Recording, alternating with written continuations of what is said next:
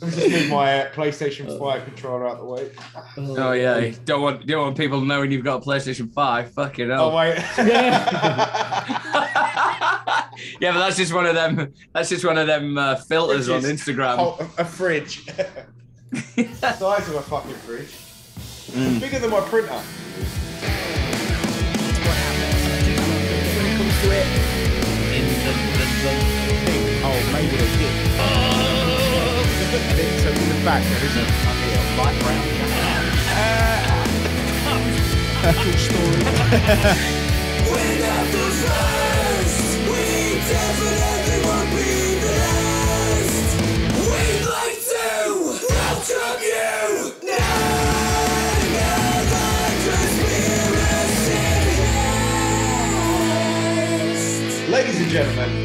welcome to another episode of Not Another Conspiracy Podcast with in Michigan, Mr. Dean Salter, Hello again, everybody.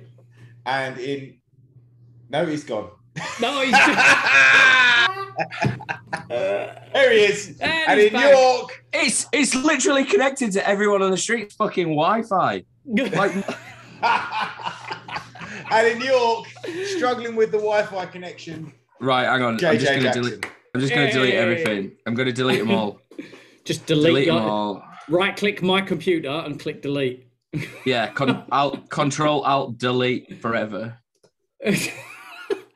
And uh, Task manager end process of my life. Somebody knows. Somebody knows something about this episode. They know I'm gonna drop the fucking bomb. I'm gonna drop the actual so bomb on this. yeah. I know. I'm, I'm going to firstly apologise for the quality of my audio this week uh, because we had a new router put in at the office and uh, now it won't connect to the Wi-Fi, which is bizarre. Uh, but That's resulted in you in a different room, I take it. I'm in, I'm Like- in the I'm in the just the main office uh, Ugh. with the uh, not the PlayStation Five. Ben's Not just turned. He's just turned his chair around. He just wants everyone to know he's got a PS5. I haven't got a PS5. I'm going to blur this out. That's that room sounds very cold. It's not. It's boiling hot. Oh, it is. Oh, It's so hot. lucky. It's the first time I've had to put England's- my heating on here in England Michigan. is so it? hot right now. Well, I still looked earlier. It was 21 degrees bloody centigrade Yeah. on Canvey, anyway.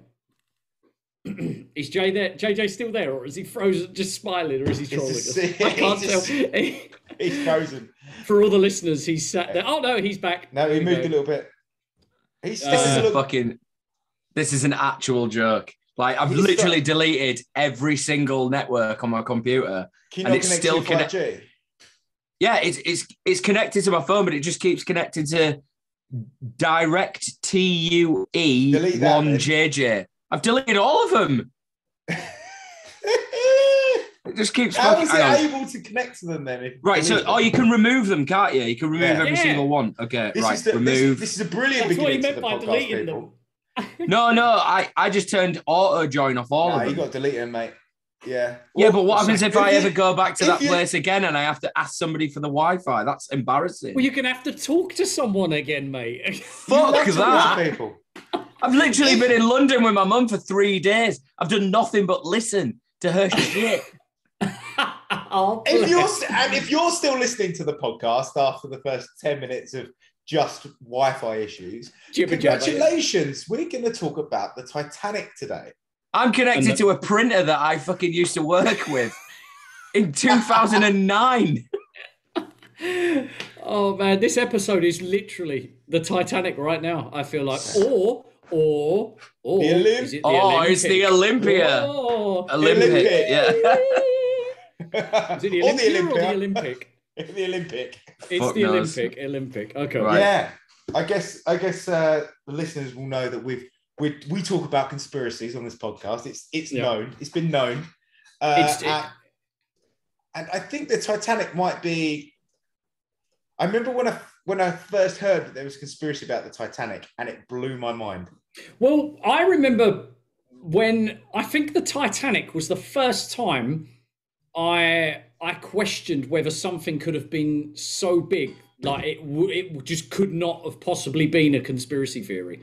Like that was the one time where I sat there and without thought or even the idea of what the conspiracy is, I sat there. I was like, no, that's there's, there's too there's too many lives lost and such a catastrophic event. There's no way that that could Yeah. be a conspiracy theory, but it sounds like it could be. Well, the, the research I've been doing has led me down the path of probably a conspiracy. yeah, yeah, I'm not gonna lie, I, I think it's probably a conspiracy here. More than one, maybe. Possibly. I feel I uh, well, one I feel like I'm pretty solid with. Like Yeah. I'm I'm pretty pretty uh on the side of it. Uh how about you, JJ? Um, yeah, the research I've done also leads me down that avenue where I feel it might be a conspiracy. Not another Honestly, one. I know my brain is exploding with conspiracy theories. Oh, It's There was- almost like we we seek them out to Yeah. create episodes for our podcast. These uh, Yeah. conspiracies. because mum, months and months of effort. Because uh, we were talking the other night, Dean, when we did the live stream, me and Ben. right. Oh, he's frozen again. He's frozen again. That's the secret was about to come out. Then he, he was probably going to say that we're talking about how how nice you are as a person. Oh, yeah. probably I'm sure talked it was. That. Yeah, he's gone now. So, um, well, while we wait for JJ to re-emerge from the ether or the matrix, From Internet Uh, Gulag. what what was the what did you before you? Somebody really doesn't want me to do this fucking podcast because literally, I honestly, I was just like, I was just about to say, we've already done this podcast. And then Oh, it yeah. literally just went off. Yeah, Oh so my- we were talking we were talking about this podcast, and JJ is convinced that we've already done this podcast before, but he's frozen again. Um, and I, the, he was so convinced that I could, I was convinced we'd already done it. Really? Yeah. See, whereas I'm not I'm like I know we haven't I know it. we haven't done. I know we haven't done it.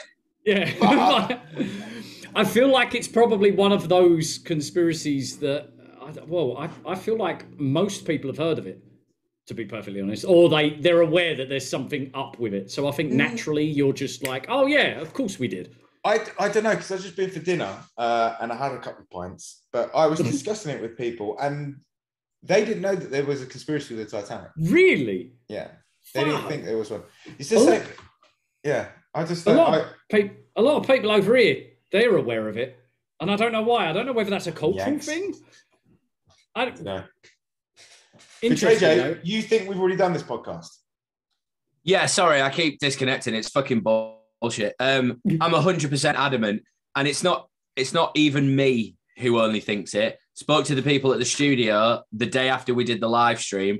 They're adamant we've already done it, and my missus is convinced that we've done it because basically on the way to work when we used to do research back in the day when we were, you know, when I, when I was like hardcore researcher because you know like that that's my number one role in this. Like I'm the I'm the number one research guy. Um, I put the I put the a couple of the podcasts in my in my headphones, and I was like, as I was walking down the street across the road at exactly the same point where this thing did, and I like lolled, I like stomach laughed, and No, JJ! His stomach laughed, right? His stomach laughed, His and then stomach laughed. his heart stopped beating, and he realised that he was living in the Matrix. So that and he was, was the end that actually listening to He was actually himself. listening to himself, but he in was the listening to himself on a different part. There he is. right. I- I think it's probably best that I just restart the computer because I don't know what the fuck's going on. I've deleted every network and I don't know what the fuck's going on. Right, restart your computer, uh, and then we'll discuss some some stuff. Okay. you you just you just go as you just go what you need to do. You do the, Well, the we'll pre, talk about the, his, the, the history. pre-log. Yeah, yeah, yeah. Yeah, yeah, yeah. Yeah. Okay. Um, right. Dean, you know more about this than I do. Oh, Uh, really? But the, the the I guess we, we we can talk about the what happened before the launch, but should we talk about the day? What happened on the the day of the uh, Sinking.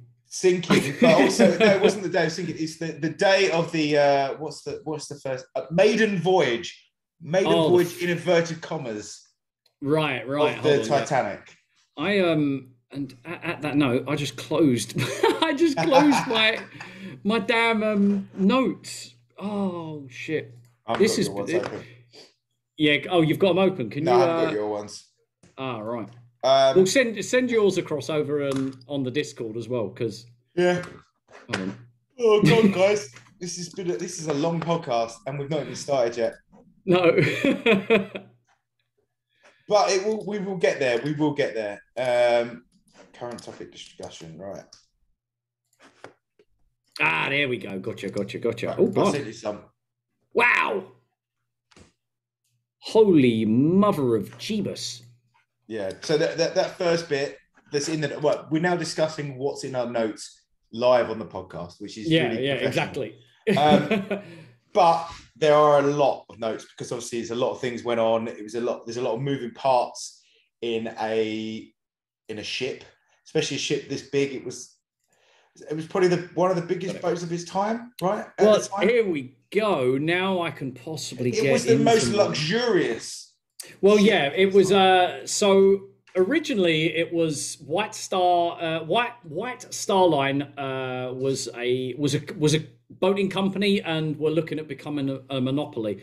Uh, it was acquired in 1903 by American financier J. Pierpont, Pierpont Morgan. Most people Never, never heard of him. Never heard. Never of him. heard of him, No, yeah. no idea who that But is. J.P. He doesn't Morgan. seem is- nefarious in any No. way. No, he doesn't. No, he doesn't, doesn't. seem reptilian. In so, uh, yeah, he was an American international mercantile marine. Uh, he was looking at creating a monopoly for the North Atlantic passage trade. Uh, the chairman chairman of the White Star Line was uh, J. Bruce Ismay. Uh, both put together a plan to build three superliners. Uh, first, which was the Olympic, then the Titanic, and finally the Britannic. Um, moving on with a couple of uh, little facts as well, uh, leading up to, I guess, like the event in general. Uh, the first of the new ships uh, were to be practically identical as well, and this is where um, a few of the questions do come in because both the Olympic and the Titanic share a striking resemblance, but there are Exactly the same. yeah, practically, but there were allegedly a few Yeah. differences. So, um, anyway, most ships in the early 1900s were known as coffin ships, and that was down to the fact that um, they were poorly uh, constructed, and um, the owners were known to overcrowd as many people on these ships and insure them um, to, uh, to uh, uh, ca- catastrophic amounts because they just knew that things were going to go wrong and the industry in itself was full of fraud. Uh, it was widespread and almost like a pandemic that we're in, unfortunately. But um, okay, so on the 14th of June 1911, the Olympic made her maiden voyage under the command of Edward J. Smith. Now, if you've seen the Titanic, or you know of the Titanic, Edward J. Smith is the captain, uh, or the he- co- Commodore, I think they call them. Yeah. He was the he was called the billionaires captain, wasn't he, or the millionaires captain?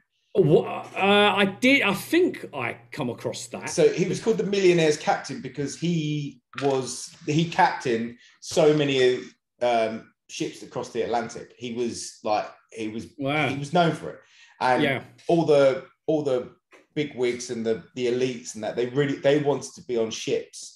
With him, commandeered captain- by him. Yeah, captained by him. Yeah, that was the Well, it it- just so- goes. It just goes to show that you can get a job no matter what your history is, and it's all about who you know. yeah.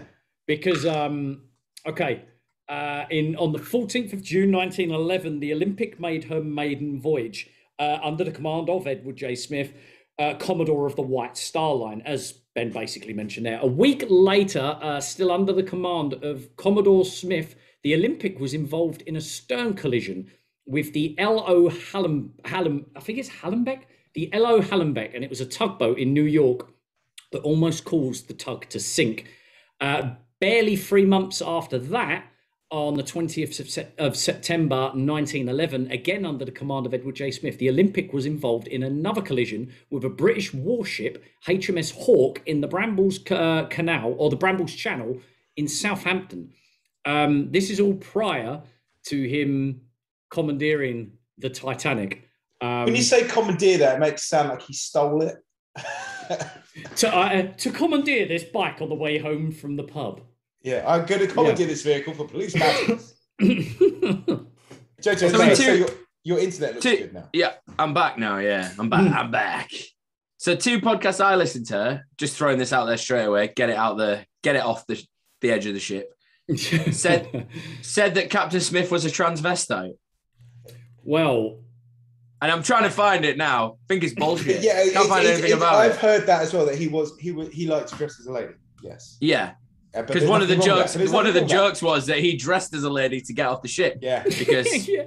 Yeah, I, He didn't- I don't know if you guys have already mentioned. Yeah, No, no, we've not got to that or anything I like heard that him yet. talked about the ship sinking. Yeah, Again, I haven't even read the notes, so this might be someone's like sketch later. But I'm sorry. Yeah. All right, Yeah. we'll wait. We'll wait. don't do my to that. bits.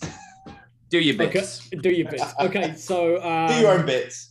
So the HMS Hawke was pulled in uh, due to the uh, suction being created by the. It was by the- sucked down, right? Like well, a- well, yeah, yeah. So that this was because this ended up having to go to court because it's a, it was a royal ship uh, and and or the or I believe the the court for like naval vessels and stuff like that. Anyway, it was pulled into uh, into the ship due to the suction being created by the Olympic's powerful propellers.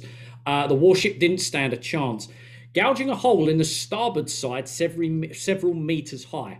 So that's not just like a dink or anything like that. That's like a pretty severe piece of damage. Um, any accident, as I mentioned, uh, if you've involving seen Superman four, Uh, he he repairs oh, he does, doesn't he? with the oil he- leak. He opens it. I mean, originally when he's bad Superman, he opens it up and he creates the oil spill. But later on in the film, he then returns it, blows Was the it- oil, literally blows the oil into the back into the ship, and then repairs it.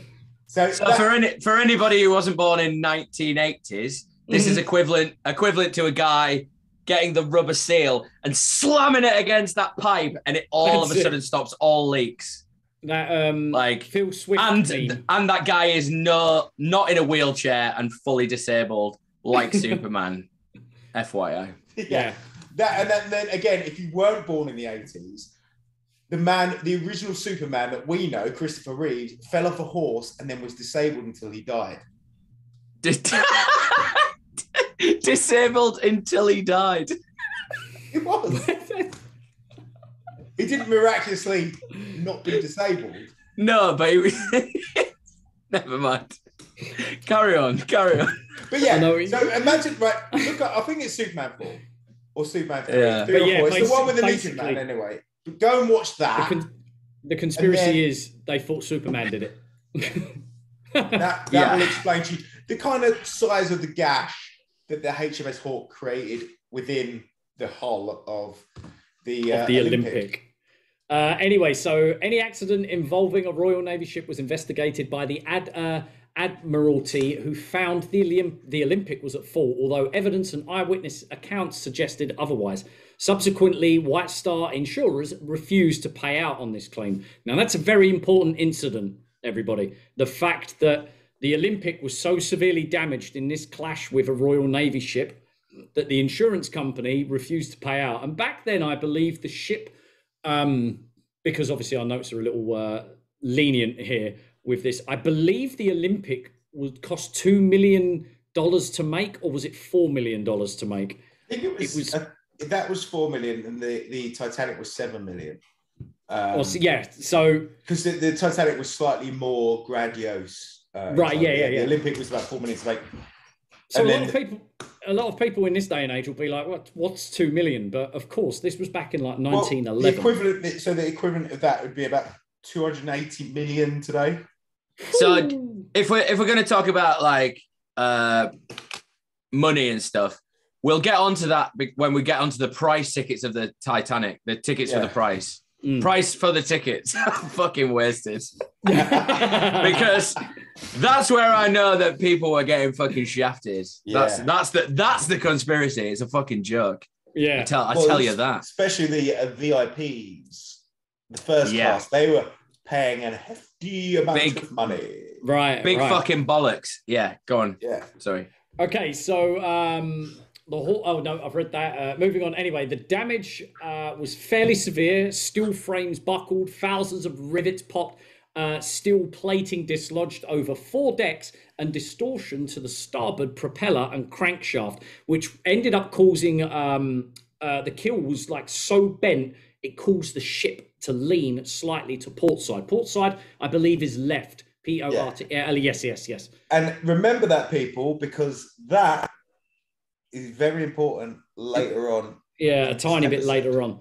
Um, so it naturally caused a, uh, a, a natural lead uh, lean to the port side. Uh, six months later, when the Titanic made its maiden voyage, second class passenger Lawrence Beesley, a science teacher, noted that the ship seemed to have a slight permanent list to port on the first part of the voyage. Surviving passengers also noted this too. Brand new ship has a lean to it, matching the damaged ship previously. Yeah, and allegedly there were there, there is some video footage um, in the documentary that w- all, all three of us, I imagine, watched was the um, uh, Titanic. The no, what was it? What was it, Ben? You suggested I can't. The Oh, shocking Titanic, the truth. shock, Titanic, the shocking truth. I love I love how you were like I bet I bet I won't be shocked, and then like I remember like an hour later you were like what the fuck? It's- Yeah. I am shook and shocked.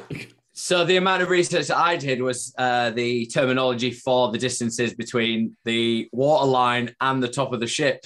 So if anyone wants to know those, hit the Discord because I know all of it. I thought the conspiracy was like the ship didn't even exist. So I've I've got I've got the measurements to prove it. Just FYI. okay, so um, yeah, in Southampton, the Great Hole was patched up by riveting steel plates below the waterline and reinforcing with wooden beams above, taking around two weeks. Now, that sounds pretty like lackluster. I think Yeah. that's for, that sounds like the most cowboy job I think I've ever heard of.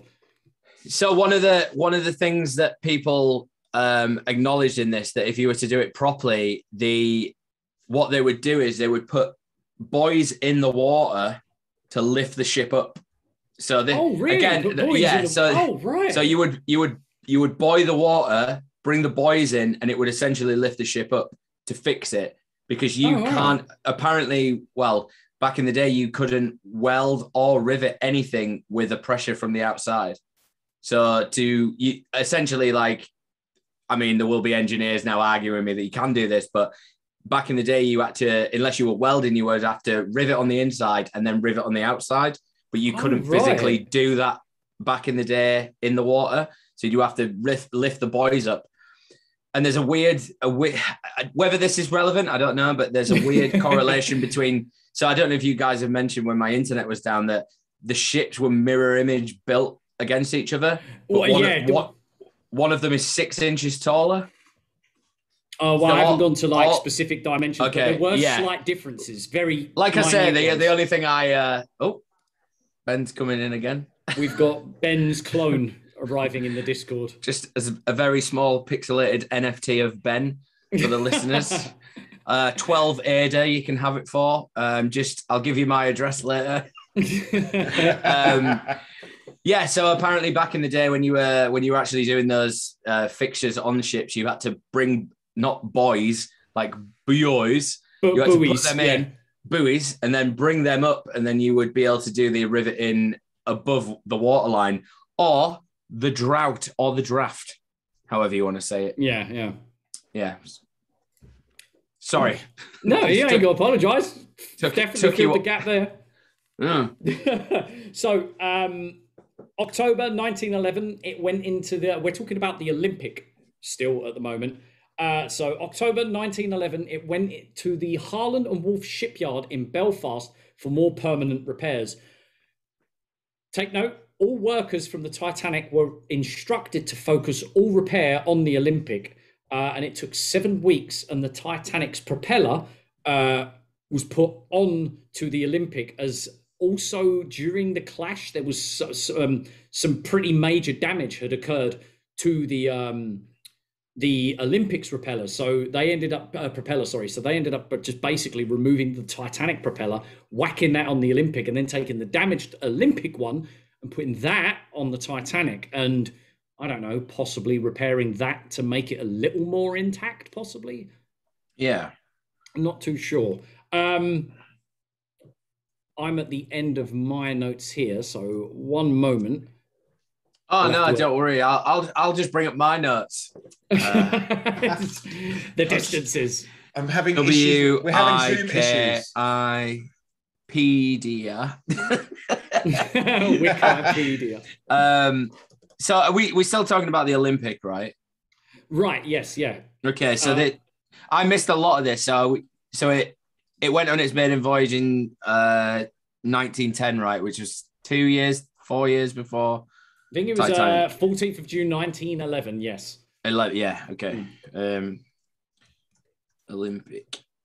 Olympic ship. I know. Yeah. I'm just.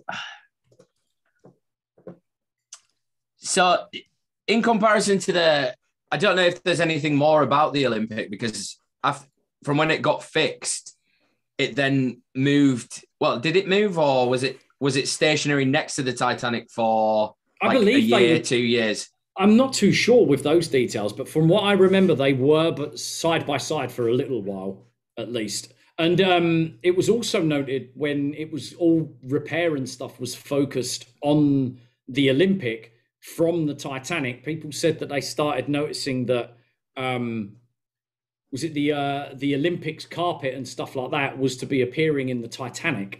Like they were doing like recarpeting and wall, I guess maybe wallpaper in there also. Because from from what I gathered from the Olympic was that it was actually going to be the it was going to be the big boy because it was actually bigger than the Titanic. It was Yeah. like l- in terms of like I, th- I think these like nautical guys they're all about weight. They don't they're not really bothered about size. They're all just like my fucking bitch is so much heavier than your bitch. Like it's all it's all to do with tonnage.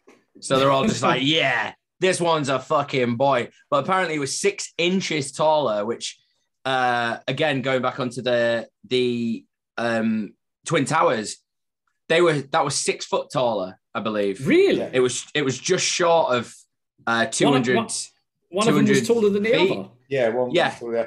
And one had a right. massive And it- it- radio mast as well.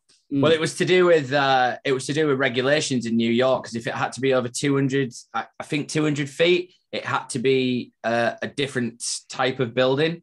So one of them was 198 and the other one was like 192 or something like that. And it's just weird i mean all right granted when it comes to like metric it was you know six six is a, a correlation number between all of these but from from what I gathered with the Olympic, that was it. It just went and it went into harbour and it just stayed there until the Titanic sailed off. But it was just there. It just stayed there and nothing really happened. Or did it? Well, the Olympic Ooh. continued to the the Olympic continued to work as the Olympic, not not the the Olympic that became the Titanic. The Titanic Right, that became yeah. the Olympic continued to work until it was retired. It never sank. But it only did it only did test sails, didn't it? It didn't do it didn't do like uh domestic sailing or like cruises or anything like that. It didn't so the idea was that the Olympic was gonna go and do the same trip that the Titanic did or Right, yes, did yes, not. that is it true, was yes. it was meant to do that, but it was almost like from what I gathered, it went out, did its test trip, realized it fucked up, came back and the re well I'll, I'll get into it when we start talking about the the iceberg Yeah, yeah, But- like the main. yeah it, main- it's to, it actually does roll back to the tonnage of it so the tonnage is is very is a important big when it deal. when, Yeah, yeah. when it comes to this because well we'll talk about it when we start talking about numbers and tickets and all that fucking logistical shit that like Yeah, you know 'cause- really does matter really does matter when you've got a boat because obviously you know when you're in the bath and you you put loads of beer in the bath and the bath starts rising up like Mm. you know that the volume does matter when it comes to this the Olympic continued to go back to New York and all that until 1935. you see i didn't know that Yeah, it was, but that obviously. But remember, the, the Olympic was fucked, constantly fucked. It was crashing. It was having issues. The propellers were going. And it was all because Suddenly- of Edward J. Smith. No, well, no, not even that. Suddenly, the Titanic sinks, and then the Olympics, this perfect ship with no issues. That's, Yeah. that's like a big one for me. Yeah, so the, a- the the actual test the test journeys that the olympic did were to see whether they could physically do it. Because I don't, I'm not again, I haven't, I don't know the history of transatlantic uh, sailing prior to that on on such a big scale. Have they ever done it? You know, Yeah. because it was It was the biggest, it, the biggest, grandest ship, fucking massive. Tonnage is huge. Have they ever done it to that level before? Probably not, because Not as big as I that. don't. I don't to do remember any. Yeah, but I don't remember any fucking Hollywood films about any of a ship. Yeah, because they didn't that. sink. Yeah, but- but did any of them get- saying though? Did any of them get to America? Like, yeah, surely there would be films of. Yeah, but of that scale, of that grandeur, like. no, no, there wasn't No, anything because- as big as that. No, I mean, I can imagine like little fucking like peddlers getting over there. I don't know what that is. and it was yeah, Right before the uh, the Titanic or the Olympic did the transatlantic uh, crossing, there was the ocean liner SS France, which sailed for French shipping company Compagnie Generale Transatlantique. Uh, right. 2,000 people were on hand to witness the ship's grand debut. That did it. Um, yeah, it, it was a- They were the 2,000 people who died at 9 11 or the Titanic, were they? 'Cause Ah, that's, yeah. that's a bit convenient. they weren't. They al- Yeah. also weren't making documentaries 18 on child trafficking. No, 1899, the first. Uh, They're all Wayfair employees. yeah. Well, that's it, that's the thing. You laugh. They're just shipping themselves in fucking containers now. They're just like, you laugh, but you'll you'll never guess what company had thirty percent of the cargo was with Wayfair on the Titanic. Hey, no, shut up. You're no, you're pulling my leg. No, you're this is this is a bit. This is a bit. You're doing. yeah, a. Wayfair wasn't a fucking thing. And I was just about to say. I was like, no, pack it in. But more importantly, how many nonces would have been on board? all of them. It What? was earlier, it- yeah, because it was the it was the nineteen hundreds. So you know, everyone. Yeah, back in the 1900s, it they fucking it was allowed. Like back in the I Greek was going to times, say, yeah, it was. they you were fucking loved it. In thir- 13 years of age in that. We've time, already uh, talked about this, right? There's a Yeah, I there think is a there is a god of boy love in Greek mythology. There is. Oh, Yeah. ah, what? So I I wound I wound a customer up about it once, and he was just like, I don't get what you mean. I'm like, but you're getting all these other gods who are like holding big gloves and like throwing big fucking like things around. I was like, there is a god of boy love. Why don't we just do him? And he just didn't. He, we just changed the whole tattoo. Sorry, digressed. So, Well, go on. there, um, I guess paedophiles were equal. Probably let's say that there was the equal amount of paedophiles in 1900 as there were in 2020. Should we say that about the Yeah, same can say amount that, I guess. percentage? don't want to alienate anybody, do we? Yeah. So was it 12? Was it 12 percent or five percent? I can't remember. oh, you said five. For anybody listening, uh, these two are just these two are just really invested in these in these statistics. They're important. I mean, you can you can hear it go tappity tappity tap. Whoa. I'm I'm just interested. To He's a, he- did you know that among uh, almost what is it five percent? So it's five percent estimated that people are paedophiles. It's five percent.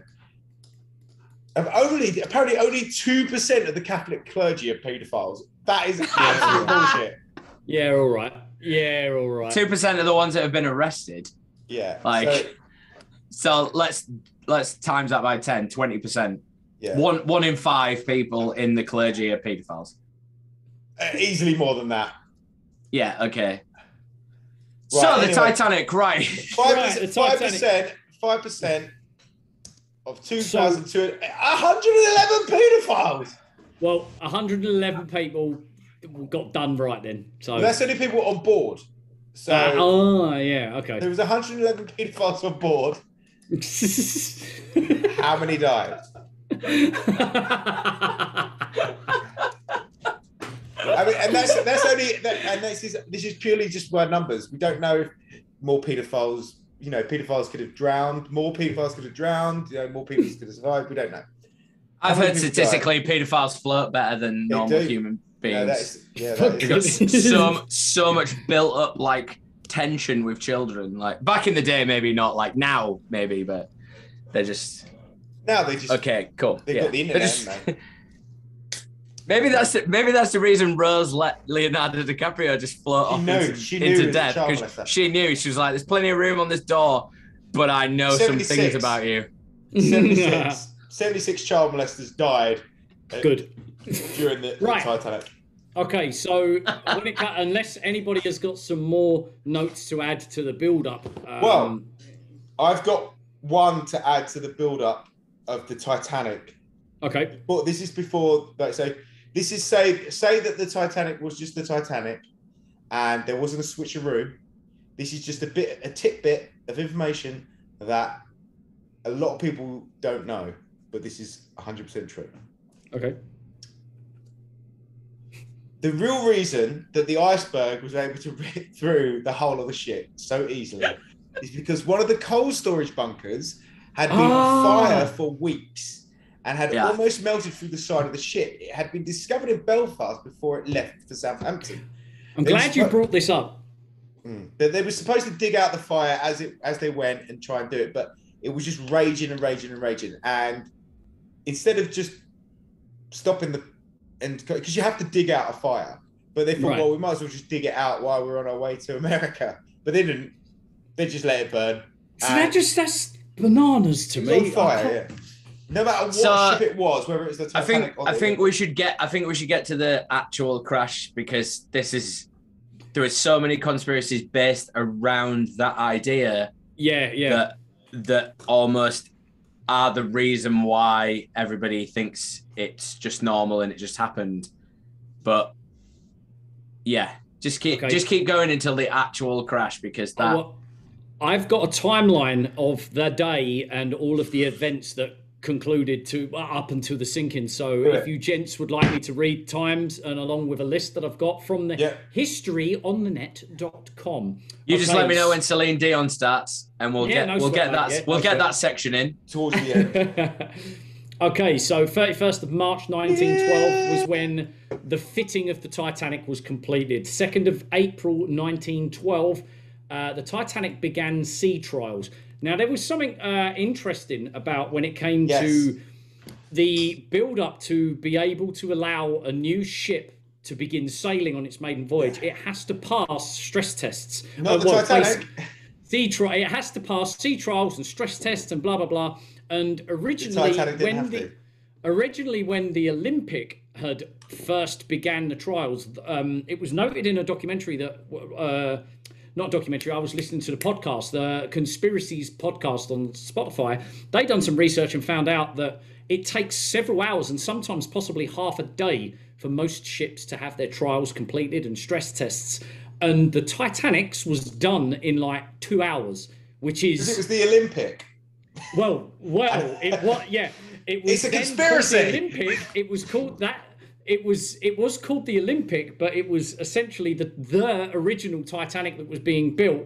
That uh, oh no, sorry, it, I'm even getting confused at the minute.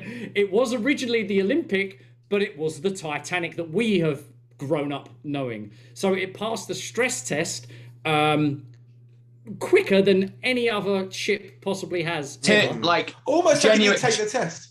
No. genuinely two hours uh, even that even sounds too little like in it general does, like doesn't it? it, it should be like if it was to do with modern engineering you're talking like mums it isn't Yeah. uh, so to do stress tests on a bike you essentially have to let it warm up let it cool down test it let it warm up let it cool down test it and unless you're doing that in, in, in a controlled environment that takes Right. months like Mm. to to genuinely let it pass on a ship that like like what's the the tonnage the tonnage is so high with all that metal especially to do with something that's got compressed steam in it Yeah. Right. like, yeah, is, yeah. isn't something because it isn't like it was now it isn't like it is sorry it isn't like it is now where you would test every individual element in its own stress test and then put it in it would Yeah. be you have to do it in that controlled environment because that's the only way that you could ever test this thing so i call bullshit immediately on that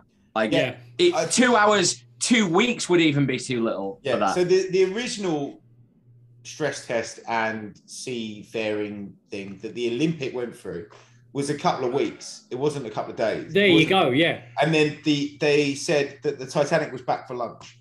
Yeah, and that was like that was done in an afternoon with like Yeah. no problems Yeah, whatsoever. they were back Okay, for lunch with it. So So Yeah. did they just they just kept like driving it into an iceberg and reversing it out? seems fine. thrusters, thrusters on reverse, full throttle. just kept going over and over again, like Okay. thumbing in a dry one oh, okay. or a cold one. Thumbing in a softie. Ugh. Not Anyway. thumbing in, thumbing in a cold one. I mean, thumbing in a. yeah, go on, Uh, continue. Oh, so 3rd of April 1912, the Titanic arrives in Southampton. So the 10th of April, no, I won't keep saying 1912, at 9.30 uh, 9.30 a.m. to 11.30 a.m., passengers arrive in Southampton and began boarding the ship. Now, this feels like a rather convenient area, JJ, if you want to talk about ticket pricing at all, if you is now, Okay. or did you... I'll, I'll be quick with this one. Ticket pricing. Entry level ticket pricing was equivalent to about six hundred pounds. That was for a uh like a sub level. Leonardo DiCaprio level. Third class. Third class. Yeah. Second class was equivalent to about two thousand pounds, which was second class. So you would be like, no, I don't think they even included second class on the video. They were that unimportant. They, Yeah, you were, were either, the you were either the bottom or the top. You were Yeah. you weren't a middle guy. You'd put a suit on, but only for your dinner. Whereas They in the top guys wear suit all the time. The bottom guys wear suits all the time, but they were covered in shit and tobacco.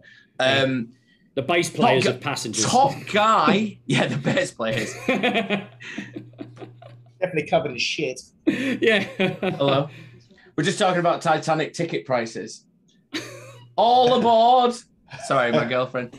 Would We keep it spoke about this already, Yeah, remember? Keep it, d- keep it down, please, JJ. Okay. Um. Right. Get this. First class tickets. So 600, 200, sorry, 600, 2000, 77,000 pounds to be first class. What? That's the Yeah. equivalent in today's money. Yeah. Yeah. I don't know. They fuck. I didn't even know what it was. Like they, they were like one biscuit, 12, t- 12 backy tins dinted, and then the top one was like five Caviar. skinned mackerels and a polar bear. Uh, yeah, it was. Yeah, seventy-seven thousand pounds. It would, or 75, The, 77. the gap, and apparently the, the difference in service between first class and second class wasn't that much. It wasn't. It wasn't seventy-five grand difference. That's fucking absurd. yeah. Absolutely absurd. Because So, uh, so in the film Titanic, I've not seen it, but I've seen clips of it. They took they they they look upon the third class like they're uh, like they're Other than servants. workers. Yeah, but they're not. They they had ser- they had service. Like they had Yeah, in, yeah, because in the movie, in the movie, um, they was well, it was mentioned. And they were in bunk beds. in the past, yeah, when it sometimes with like a lot of uh, long distance sailing back in the ni- early 1900s, when it came to like third class passengers on not cruise liners but larger ships, they wouldn't even be. Sometimes these journeys would take like two weeks, and they wouldn't even have a bed. Like Hmm. they would almost have to sleep with like livestock and Yeah, stuff like that. but Whereas not on the Titanic. Right, but not on the Titanic. Whereas also in the movie, they kind of portrayed it that they got like sort of thrown to the wayside or anything. But even first class passengers had beds to like sleep in, and back then that was that was something like absurdly special. Like that Yeah. was uh, like almost life changing element. Now it's like, oh my god, third third class passengers, and we don't have to sleep next to cows. Like I we don't know if you- actually get any- our own bunks. any of you guys have ever stayed at a generator hotel, that's how I mm. imagine the lowest class in that place. Because we stayed at a generator once when before we went to go see My Chemical Romance. There was like 25 people in this shitty bedroom. And Is it I worse was than a on, hostel? I was on the bottom of a bunk bed, and the bunk bed, I'm not gonna lie, was four people high. It was a four person high bunk bed. What Like- the fuck? That Yeah. sounds horrible. That sounds like a Final Destination scene The waiting top, to happen. yeah, there's yeah, just like da da da da da, and I'm just like dead. mincemeat underneath. Um, but yeah, it it's it was terrible, and that, that's how I imagined the bottom bunk. And there was no dancing because it was just full of German people just saying, "Get off my bag." That's all it was. Get Get off my Get back. off my bag. Get off, Please. get off my back. Mr. Mr. Man, get off my back. Get off Get off bag. my. He just kept saying, "Get off my bag," but I wasn't Get even off- on his bag. I was just Get stepping my out bag. of bed. Don't leave your bag at the bottom of your Get fucking my five, 50 foot bag. ladder. Please But get yeah. off my bag. So price levels pretty drastic, but that's how shit it was in Ireland. All the Irish wanted to leave, and six hundred quid though now. To go to That's America. still expensive, yeah. yeah, yeah. I mean, especially as you go to. New York, like Yeah. that. That is probably the price of a flight now, and this is like is. hundred years ago. Yes, you know, sometimes pretty- the cheapest cheapest flight cheapest flight I used to find flying from England to Detroit to visit Rachel was like six hundred and seventy nine pounds, I think it was. Okay, so tenth of April, uh, nineteen twelve. I said I wouldn't say it again, but I am noon. The Titanic set and began her maiden voyage. Um, at around six, around six thirty, the Titanic reached um, Cherb- Cherbourg, France, and picked up more passengers. Uh, at around eleven thirty a.m. on the eleventh of April, the Titanic reached Queenstown, Ireland. Um, on the twelfth and the thirteenth of April, the Titanic sailed through calm waters. Bit of a weird sort of timeline to include. Uh, I don't know why. Fourteenth of April. Throughout the day, seven iceberg warnings were received. Um, Probably more than that was sent. because yeah, most likely the radio didn't pick up. No, the of them. radio was completely. Um, the radio would have been uh, overrun with uh, requests from passengers. Oh really? Requests Oh, oh. passengers. Yeah. Ah, okay. So the radio was used for the first class. Passengers would have had uh, someone they could send messages basically. Now, now, uh, when you think about it, in the early 1900s, that is like that sounds like an astronomical privilege. Oh, just pick this radio up and you can talk to us in like the captain's room. That sounds fucking bananas. Like Yeah. to think So- back then. A lot of stuff got missed because because Because of the radio being used. communication. Yeah.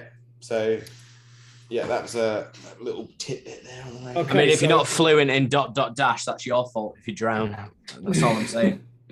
So, 14th of April, uh, around 11:40 p.m., lookout Frederick Fleet spotted an iceberg dead ahead, which uh, How a lot of though? people- Because he didn't have any binoculars. Right, which is an interesting thing. Uh, the iceberg struck the Titanic on the starboard right side uh, of her bow. By 11:50 p.m., water had poured in and risen 14 feet in the front part of the ship. Now, like Ben just mentioned, at the inquest after all of this uh, catastrophe happened, the lookout uh, claimed that he was unable to see. Well, because first they were being persecuted in saying that you knew that there was an iceberg in front of you, and, and there were many icebergs in front of you, but um, you said that this one come out of nowhere, and the guy was trying to exclaim that he had no binoculars. Because the person on shift before him, or the person that he had his, because there was a massive reshuffle in the in the crew. In the staffing and stuff, yeah, yeah. Um, which is another part of the conspiracy because they basically swapped out the crew. So uh, Captain James, whatever his name is or whatever, he could be on the flight. Uh, he could be the captain. They swapped out Yep. loads of crew. The guy, um, the lookout from before who swapped, he packed his stuff away, but he took his binoculars with him.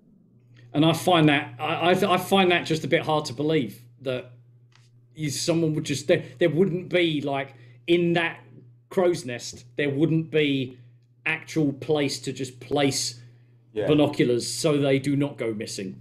yeah. So whether exactly. wh- whether this is a conspiracy or not, and it, it, again it works both ways. First thing I checked was how was the light on the night that the the Titanic crashed into the moon, into the moon. Into the moon. and the Titanic crashed into Well, the moon. You'd be you'd be very surprised because what I've just searched to just double check how the moon was. The Titanic went down on a moonless night. So even if they did see an iceberg, that's bullshit because they would have seen it. It would have been complete blackness. The light on the ship would not have emitted light downwards to see anything unless it was grand. And then the Yeah, next but the thing is the stars would have lit it, right? how no because the stars would only be lit if there was a a gigantuan light shining on the stars that's how we see light on Yeah. earth is the moon it's not yeah Mm. um but the second search is how did the moon sink the titanic because this is a conspiracy theory that is actually a lot bigger than you would expect. Keep hold of Because- that then, man. Because it's it's it's to do with the. All right, okay, I'll keep hold of it. No, no, Yeah. do it, do it, do it now. Let's, let's just Oh, okay. Go with it, man. Go with it. So, astronomers in Texas State University announced that March of this year that the pull of the moon is a creation of the tide's Earth's oceans. That it Right, might yeah. have played a role in sinking the Titanic nearly hundred years ago, causing death by ice water. Approximately, obviously, that you they died by mostly ice Yeah, yeah. water. Yeah. But one of the one of the big things apparently with the Olympic, it had had a collision prior Yeah. because of the magnetic um, attraction of where they were going disrupted the the sort of like old school compass. So like oh yes, of course. Al- yeah, almost they to the they were going point- so they genuinely like apparently they went offshore and it just naturally curved Um, round yeah, and a then they ba- yeah, barely missed fucking island again. Like it literally was like, oh, sorry. yeah, a material that they used in the ship would disrupt the navigator's compass. And Yeah. they, yeah, and as JJ was saying, they basically went in a loop and practically just crashed in, well, nearly crashed into Ireland. Because I think, I think it, it was something to do with the weld on the hull. They, Yeah, they and started material they using something using, that was yeah. like reinforced and they'd welded it on the hull and it Mm. was almost just complete iron. So the compass just always went to the front of the hull. So they always thought they were going going north, but it was actually just the front of the ship. and They that just kept sense. going around. and that makes sense with the Olympic then becoming the Titanic because it was fucked from the very beginning. Yeah. And uh, like you were saying, if the moon really did have something to play in it, then wow, no surprise. That's crazy. But I mean, that's a that's a pretty strong, a pretty strong conspiracy is about the moon because essentially it causes all kind all kinds of problems. Mm. That that bloody moon, that hollow moon.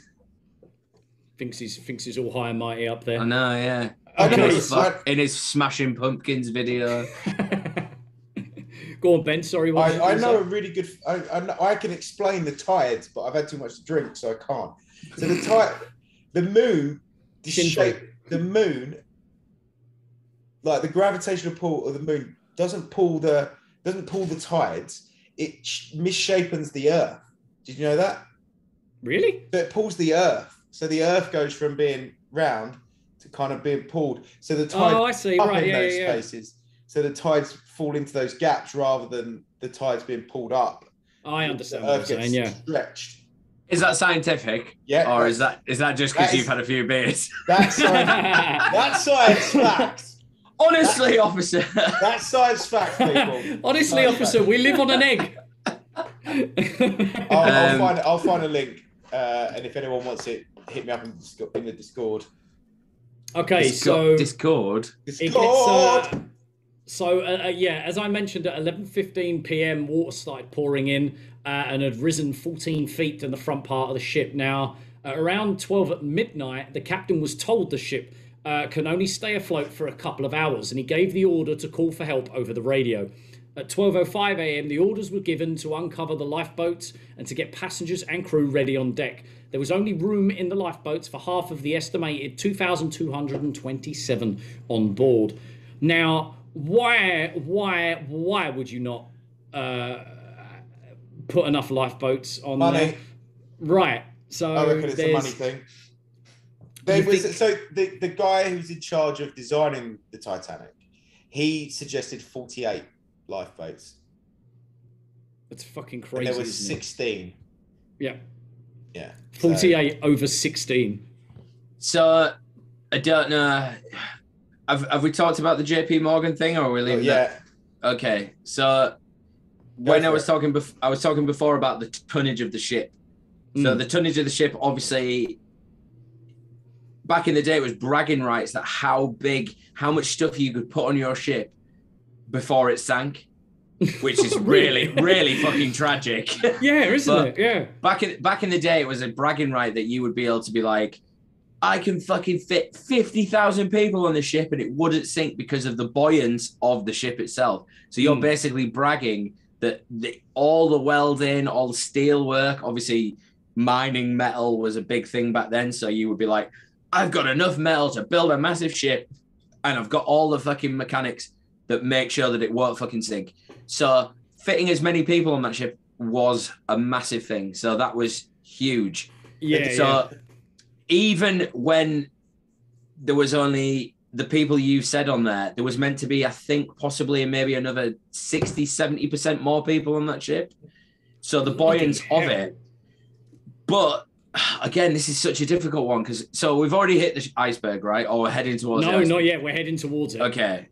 Just a spoiler alert, just in case Mhm. anyone hasn't seen the 1997 film Titanic. It hits an iceberg. Was it 1997? I don't know. Who cares? I have no idea. Right. I've never seen it. So there's a there's a few weird conspiracy theories, but I don't know how much to talk about them because I don't know how what you guys have got. But essentially, if the tonnage of the ship can accept these this much weight, the ship would have been so much lower, which would essentially widen the ship, which would essentially have made the accident more uh like obviously the wider you are on the surface you would have you know hit hit things Right, yeah. but it also affects turning circles and all these things. So when these, like back in the day when these ships were setting sail, they would have had a set kind of in, of instructions for the the drivers or whatever they call them. I don't know what the fuck. What do you call a ship Cap- driver? Captain. yeah. yeah, but not him because he didn't do fucking Helmsman. A anything. helmsman. Helmsman, Hey- yeah, yeah.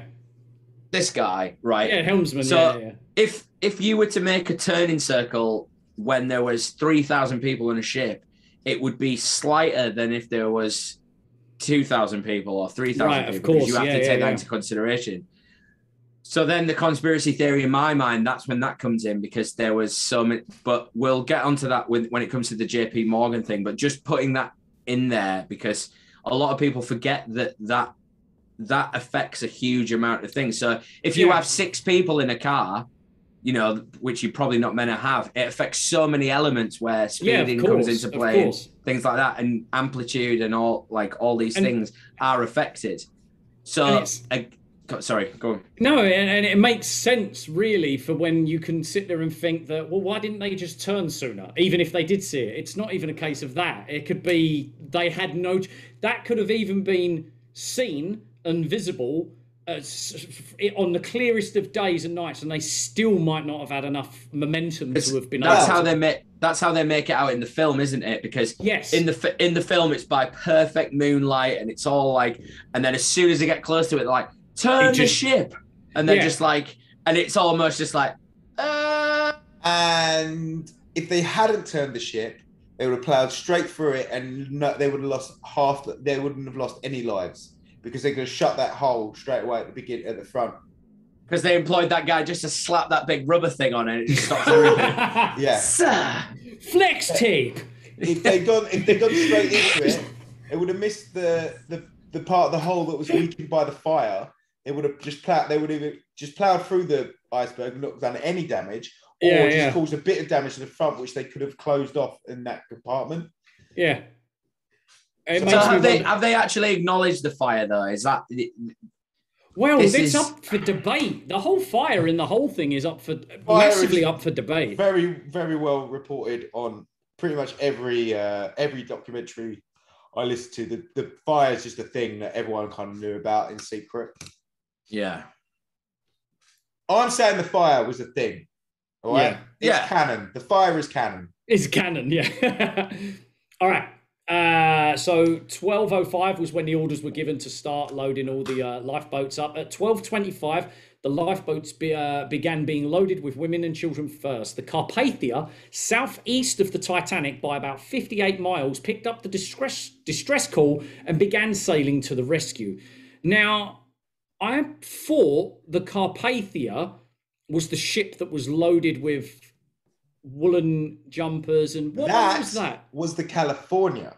The California. Now sorry. the California was about was in position to save the people on the Titanic, but right. they they stopped receiving commu- radio communications, and the the Titanic had couldn't give its new longitude and latitude to Its coordinates. yeah. California because it had shut off its radio uh, and was reporting about fireworks going off, which from another ship. So it was looking at one ship, but the Titanic was sinking like 30 miles off, Off of its yeah, off of its course, yeah. And that's where that's JJ's goes, on- that goes to the JP Morgan thing is that the California was sent out so that no one died and Yeah. the ship could sink and the California would just miraculously just be there. with Yeah. So maybe maybe we should again. I don't have the complete statistics about the JP Morgan thing, but I know what where it was coming from because I, I'll- I'll start with that. go Sure, down. yeah. Pe- Obviously, this was a big grand ship, and people going over to America. Probably most of them were probably going to settle there. Um, I think there was something like 90, 92 of JP Morgan's closest consorts were were meant to be traveling on that ship. Mhm. And I think it was about 70, 70 odd of them. All of a sudden were like, oh, we're not coming, we're sick. Like, we're, oh, we're, we're a bit ill, we can't Yeah, come. very like- true. I mean, logically speaking, if they are close and you know they are part of the team, if one of them was sick, there's going to be a few of them sick, Yeah. but like eighty percent of them, eighty percent of them sick, and then like the weird thing But- is the other the other percentage of the people who were on the ship who were JP Morgan um, consorts survived. Uh, one of Of them. course. I'm going to come back on this one because I, I do know an interesting fact about one of them who not isn't alive now, but has a very very strong connection with a lot of big banking stuff. So I'll let you guys Yeah. carry do you on want me from to that give you one. some? then. Do you want me to give you some facts on the JP Morgan? Um, Yeah, let's remind let's remind Right. a lot of people of These- JP Morgan these following- being These following facts are from the conspiracyblog.com. So the first one is probably not that much to do with the JP Morgan thing, but it does lend, lead it lead us to leads us into the conspiracy and maybe where the idea for this um, to come from. Right in 1898, a man named Morgan Robertson penned a book titled "Wreck of the Titan" about a luxury liner deemed unsinkable that was going too fast in the North Atlantic in April and hit an iceberg, killing most everyone on board due to lack of lifeboats. That that was 1898. That book was written, right? That, and that is Exactly absolute happened. madness. Exactly what happened. And what is more interesting is where that that's where the um the fire in the hull uh theory comes from as well because the reason that they believe the Titanic was going too fast is because Edward J. Smith wanted to get to New York as quick as possible because he was aware that there was a fire down below in the in the uh, coal de- in the coal they need, depot. not only because they didn't want it to obviously to catch fire and burn everyone alive, they needed to use that coal quickly that quicker than it burned.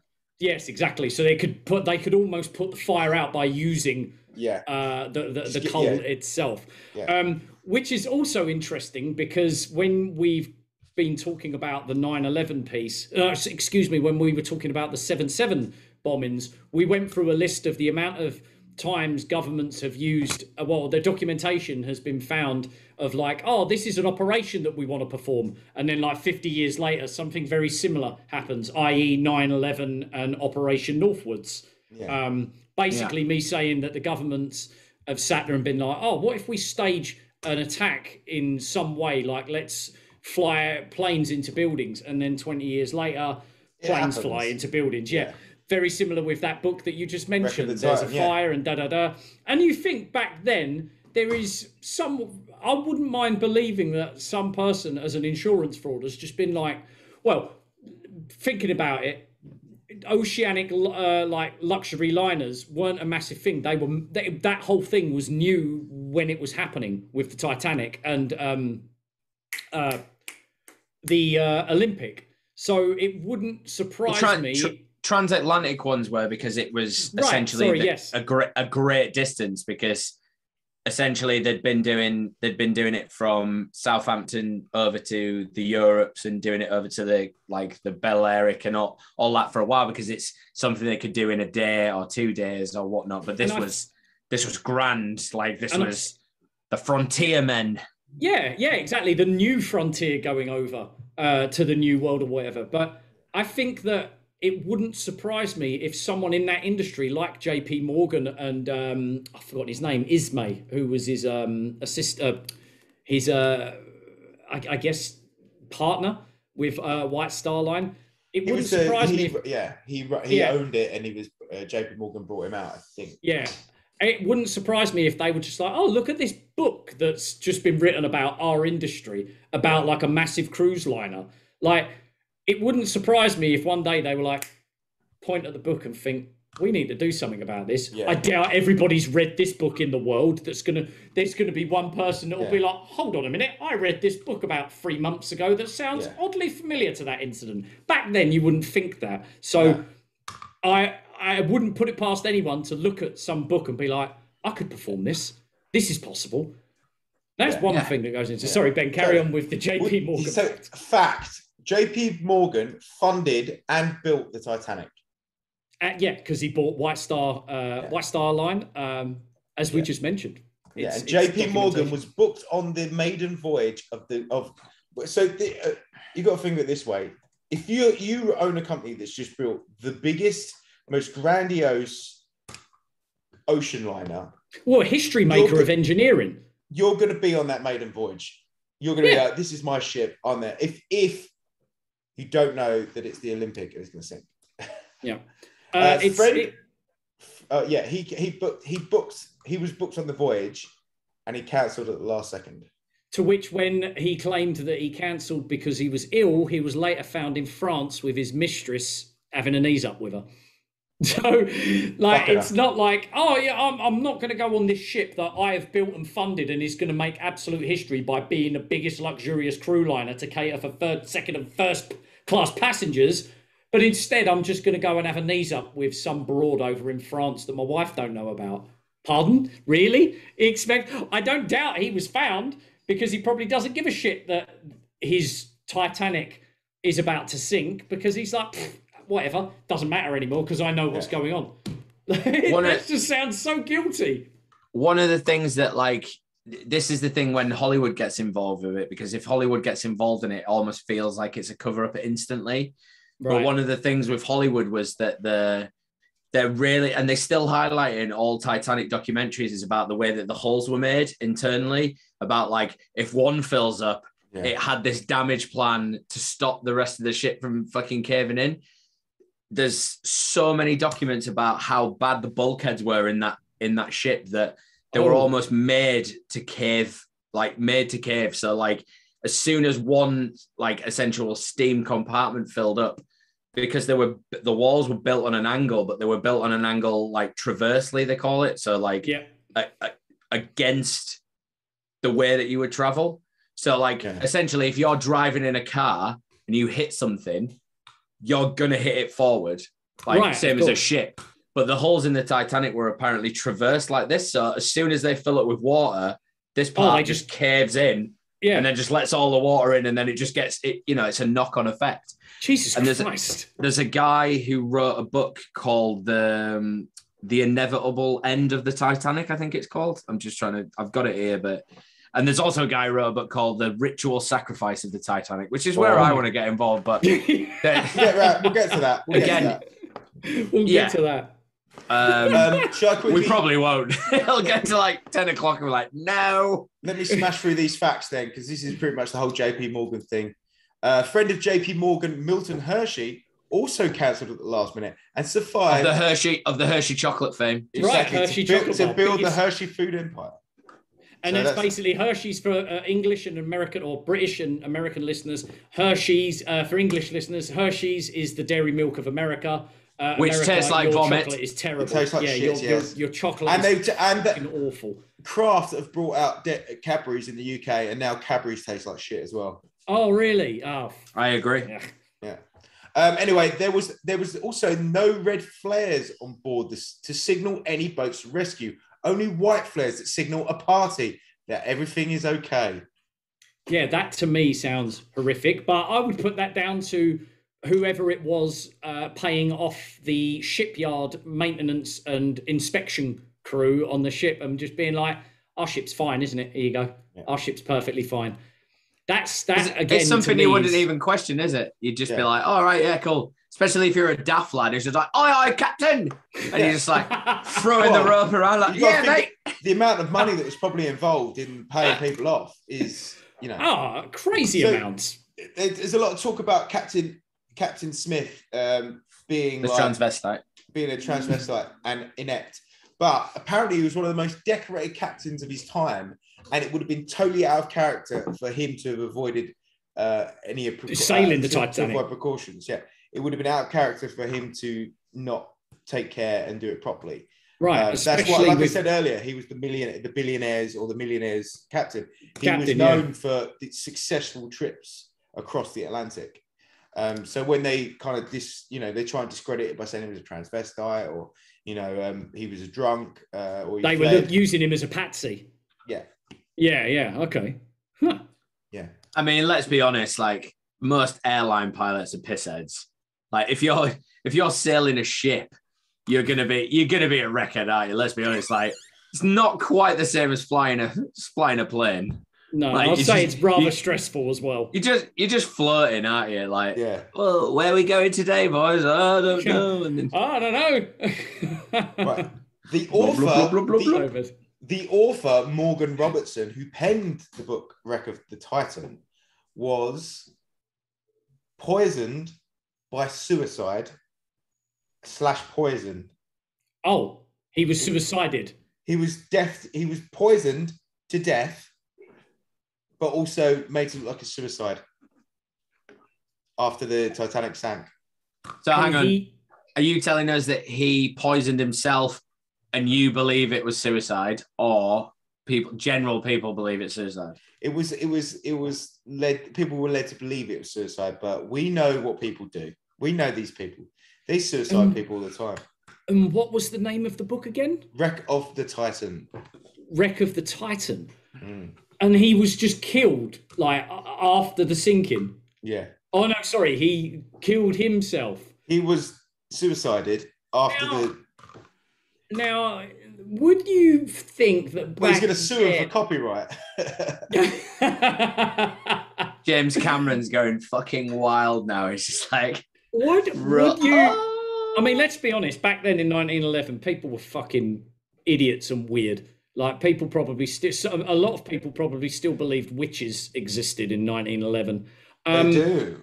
Would would it be would it be so far as to eh, maybe uh, maybe he felt guilty and was just like, how the fuck am I going to get away with this? Then my book I've written has just literally predicted the most catastrophic naval event in history. Everybody's going to think I'm some sort of like witch Yeah. or like wizard or some. Well, Do you reckon- know, it goes back to that synchronicity and that. um uh What's it? Elliot. Uh, Uh, bit of Hellier, yeah, but also like the predictions that we said we were going to do as an episode. It's a, pre- it could be a prediction, or it's someone it's giving someone the idea. But either way, like, do you have guilt for that? Is there some kind of guilt? right, that's that? what I'm saying. I wonder if he did feel Yeah, like- immensely guilty.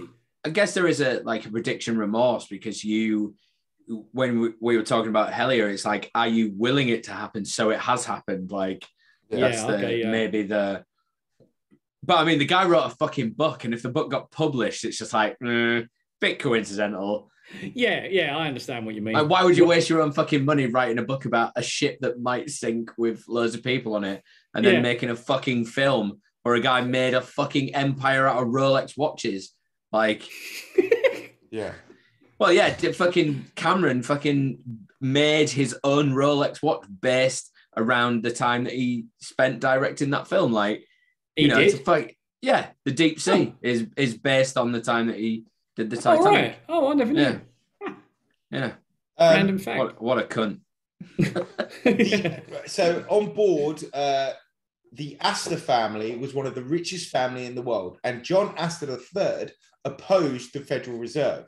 And for those Oh. who don't know, the Federal Reserve Bank is basically the reason that everyone is so fucked in this world now because and and privately that was, owned bank. and it was they wasn't it that people were headed to America to talk about it with like the U.S. government. Yeah. Uh, uh, John Jacob Astor the fourth, uh, the richest man in the world at the time, a friend of Nikola Tesla and an outspoken opponent of the creation of the Federal Reserve. Astor gained his wealth in part as a real estate builder, investor, and inventor. Other prominent Federal Reserve de- detractors, such as Benjamin Guggenheim and Isa Strauss, also died on board. See, that's suspect. That's sus as The Federal Reserve was formed the next year. Right. So conspiracy part, whatever. Have you guys heard the theory that it was sabotaged because they believed in their mind that electric technology for vehicles was going to be the next thing, and they believed that coal and fossil fuels. Yes, was- I heard about this. Again, I- I don't know enough about it to be like, yeah. But if you were going to try and sabotage something, the best thing would to do is like kill loads of people at sea with coal technology because it doesn't work. But then in my mind, I was like, surely an electric vehicle at sea is probably the worst thing ever because if they all went into the sea Well, and they were just an like, hold on to me, Jack. And then Jack's like, yeah, no worries. and he's fucked. He's dead. Yeah. he's, well, there's an electric fried ferry chicken. now. There's an electric ferry that goes from I think Isle of Wight to, to Southampton. So it's it's not that hard to believe, like especially if the the guy who was against it was Nikola Tesla's pal. I mean, that, all right, that, that guy was just trying to make crazy fucking electro music, when he like Mhm. like all that shit. But you know, yeah, all right, be- sorry, be- yeah, just just getting that in there because that that was one weird theory that I heard, and I was like, you know what, seems logical. Like, yeah, killing killing off No. an industry opponent. yeah, but just kill them all off, drown them all. Is that Right. you don't? I've got, I've got, oh, he's got I've them. got, Oh, a big sorry. bit, I've got a big bit to read, uh, read now. Um, the privatization, right? This is so. This is directly from conspiracyblog.com. Okay. Uh, And then what I'll do is I'm going to read it exactly how it's written because Okay. uh, there's some funny bits in there. The Can you do an accent, privatization, the privatization of the U.S. Federal Reserve was ushered into being by a group of Illu- Illuminati banksters with a plan to create a new world order. Operating outside of the constraints of the US government, the privatized Federal Reserve controls the US government's central banking system. Unknown to most people, the Federal Reserve is no more federal than the Federal Express, FedEx for normal people. Yeah. It is a privatized Delivery service. I never Sorry. knew it was a private institution. Mm. Through Never the knew Federal that. Reserve, the banksters could loan money, shape the world landscape, and become one of the most powerful organizations in the world. Here's how the Federal Reserve and the Titanic are connected. So I'm not gonna many offended American listeners. Uh, just, just, just before we, go, before we go too far with that, when you were talking about FedEx, just for anyone listening, it's the same as Amazon. Everyone thinks that Amazon are really great because of what they do in terms of delivering stuff, but their big, big fucking thing is uh, logistics. AWS. Now, they're, So, big, they're like, two yeah. big things lo- logistics and um, cloud Yeah. services. yeah, database, like cloud database, but their logistics service is the same as FedEx. And it just seems to be that they, even the USPS or UPS are so bad at it because it FedEx has been around so much longer. Like the U, UPS. Anyway, sorry. Yeah. If anybody wants to talk to me about uh, logistics in the Discord, just send me a message. I'll reply soon, you know. In 1910, seven men met on Jekyll Island, just off the coast of Georgia, to plan the Federal Reserve Bank. Nelson Aldrich and Frank Vanderlip represented the Rockefeller Illuminati financial empire. Henry Davidson, Charles Norton, and Benjamin Strong represented JP Morgan Illuminati. Paul Warburg Illuminati represented the Rothschilds Illuminati, banking dynasty of Europe. The Rothschilds were the banking agents for the Jesuits and held the key to the wealth of the Roman Catholic Church. The Federal Reserve did have some, Illuminati. Illuminati. the Federal Reserve did have some opposition. Three of the richest, most important of the, the opponents were Benjamin Guggenheim, Isidor Strauss, the head of Macy's department store, and Jacob John Jacob Astor, probably the wealthiest man in the world. Their total wealth at the time, using dollar values of the day, was more than five hundred million dollars. Today, that amount of money would be worth nearly eleven That is billion dollars. that is insane. These So, three- just before you go too far, the problem is with these demographics, uh, sorry, these statistics is that people don't take into consideration the way that those people move the money. So, like saying $11 billion doesn't sound that grand when you're talking about Jeff Bezos, who has $200 billion. But Yeah. it's because of the way that the money's moved by those people. Carry on, Ben. These three men were coaxed and encouraged to board the floating palace. They had to be destroyed because the Jesuits knew these men would use their wealth and influence to oppose a res- Federal Reserve Bank, as well as various wars that were being planned. JP Morgan, the individual contracted to build the Titanic, was scheduled to be on the maiden voyage, but cancelled his trip. All three men who were opposed to the Federal Reserve died during the sinking of the Titanic. to me, that's just way too much of a sort of coincidence. Like, really, Yeah, in that's that like- day and age, that sounds like uh, over the top assassin assassinations. Yeah. This- this- I I could believe it. I'm going to put this into a 90s wrestling reference for you guys. Uh, Amazing. Raw- uh, the I Royal can't Rum- wait for this. Gonna- Rowdy- Who's Rowdy Roddy Piper? Can I be Roddy No, Piper? Can I be Roddy? There was a there was a Royal Rumble in which uh, Stone Cold Steve Austin uh, entered in at number one, and Vince McMahon entered in at number two, and then at number three were members of Vince McMahon's uh, faction, Posse. the Corporation, uh, Oh, Triple H and, and- all that. all that. They they slowly entered. So, you know, basically, uh, that's what happened to these men. The cor- they got That's done what happened. over in in, they in got done over. in a- WWE's it, was a, ring. it was a Royal Rumble. Uh, they, they got Vince Stone McMahon. Cold was just fucking throwing people. They're trying over to they're trying to fight it, and they and eventually eventually the corporation won. Uh, but, but but but in true wrestling um in true wrestling fashion, Triple H uh, Stone Cold came back in the last minute and won after being put in hospital. But it's fine because that because it's wrestling's not real. The Titanic sinking was though. Yeah. Yeah. But anyway, the Federal Reserve was installed as part of the Federal Reserve Act in December 1913, roughly one year and eight months after the Titanic tragedy. World Yeah. War One was ignited less than a year later. Theorists believe that the Federal Reserve and the Jesuits were responsible for funding the United States, Germany, and Russia in the war. Bang. Yeah, It's- so they be- they believed it. It was the trans like I've seen it referenced a lot of times. The transatlantic handshake, and when you see the word handshake, it's in quotation marks. So they say it's basically like we're getting everyone on board because we're bringing our fellow brothers over from there to to sort deals out. But oh no, it didn't even get like twenty five percent Ah. of the way. Yeah. Oh, what a shame. Guess we'll just have to uh, Yeah. do what they what we think they wanted. It's almost equivalent to like a token burn in in like cryptocurrency. It's just like we've literally just lost like 900 of the most important. Well, probably not 900 of the most important people, but let's say like 20% of those people. So like 200 of those most important people in the world have just drowned. Like, Jesus. oh well, we'll we'll just scoop up what they've got and fucking make it better. You know, like It makes sense. Like it really, really does. It does already sound like it's just elitists you uh, Hmm. taking advantage of an opportunity. Sorry, Ben. Carry on, mate. Right. So uh, there's some nagging questions. I He's got more. I like this. There's more. right. fucking more. You can tell he's had a questions beer. round. With days to go before sailing, the Titanic was not yet ready, and the Olympic was still sitting barely seaworthy in a dock. It is here that the unthinkable happened. Bruce Ismay and JP Morgan realized that if the Titanic does not go to sea on the April 10th, they're going to have big money problems from passenger refunds, especially when the price of the coal was at all time high due to coal strikes. They told Captain Smith, a Jesuit, their And a transvestite.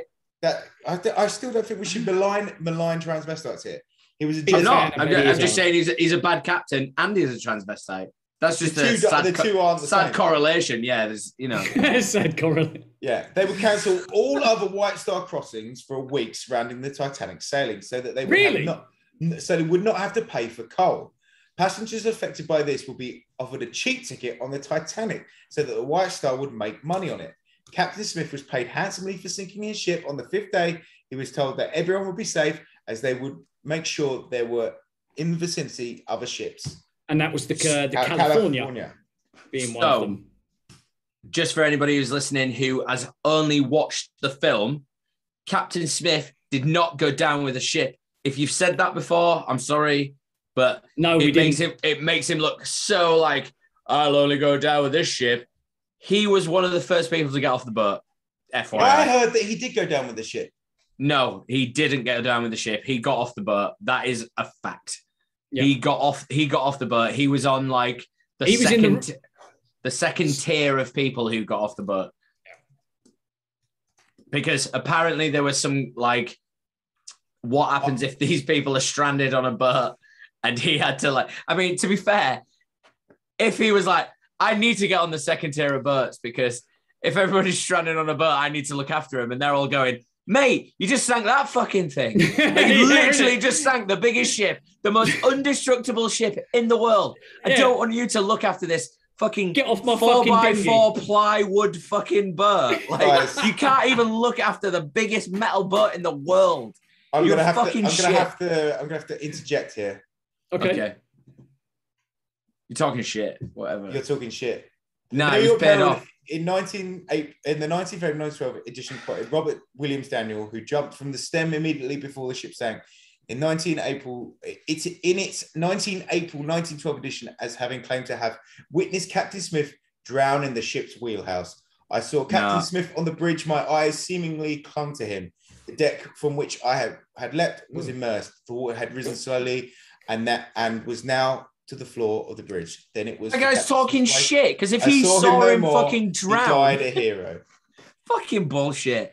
That guy, that guy just wanted to sell a fucking book. That guy got off the ship. Like, if you saw him and you just fucking stood there, but where, where the fucking, where was this guy stood? On the fucking iceberg? Like the Jumped ship, the he ship him went just fucking before he down. died. Documenting everything. Yeah, he's just like, well, this is interesting. I like to see how this plays out. Like, he Lord fucking, Easter, Captain. Nah. What's going on here? I know, yeah. Look at that fucking weird bearded cunt who's in a dress. I hear he likes Eddie Izzard. Yeah, I'm, I'm hearing, I'm, I'm just seeing that he died on April the 15th, 1912. Mm. Hotly debated. Mm. No, I'm not seeing Mm. anything to, but I'm only Googling it. So I'm not seeing anything to the, to the contrary. Yeah, well, this is Google, isn't it? It's owned by the same Jesuits you've just been talking No, about. I'm using, oh, Get it on DuckDuckGo. Let's see what the see what the Russians have to say about it. They're just like, Captain Smith still lives in Moscow in, in a dress. Yeah, I'm not seeing any. Still has the same grey beard, and he's a 145 years old. Well, if I, I say this is probably a good point to say, if you think that Captain Smith's alive and you have evidence, put it in the comments, I guess. Or put it The in the world's Discord, oldest transvestite. or join the Discord um, and let us know what you think if Captain Smith is alive or not. I think he's dead. I mean, he's definitely dead. He's dead now. But Every single fucking thing. Like, it's so embarrassing. Every single thing about Captain J. Smith.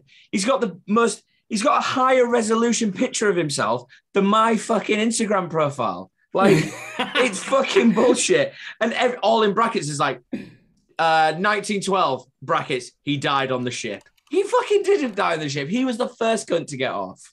He has got so many pictures of him, though. Oh, That hang is- on. Apparently, he killed himself. He shot himself in the head. While going down with the ship.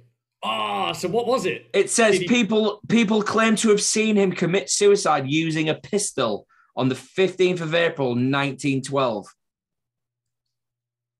So again, so many fucking weird stories.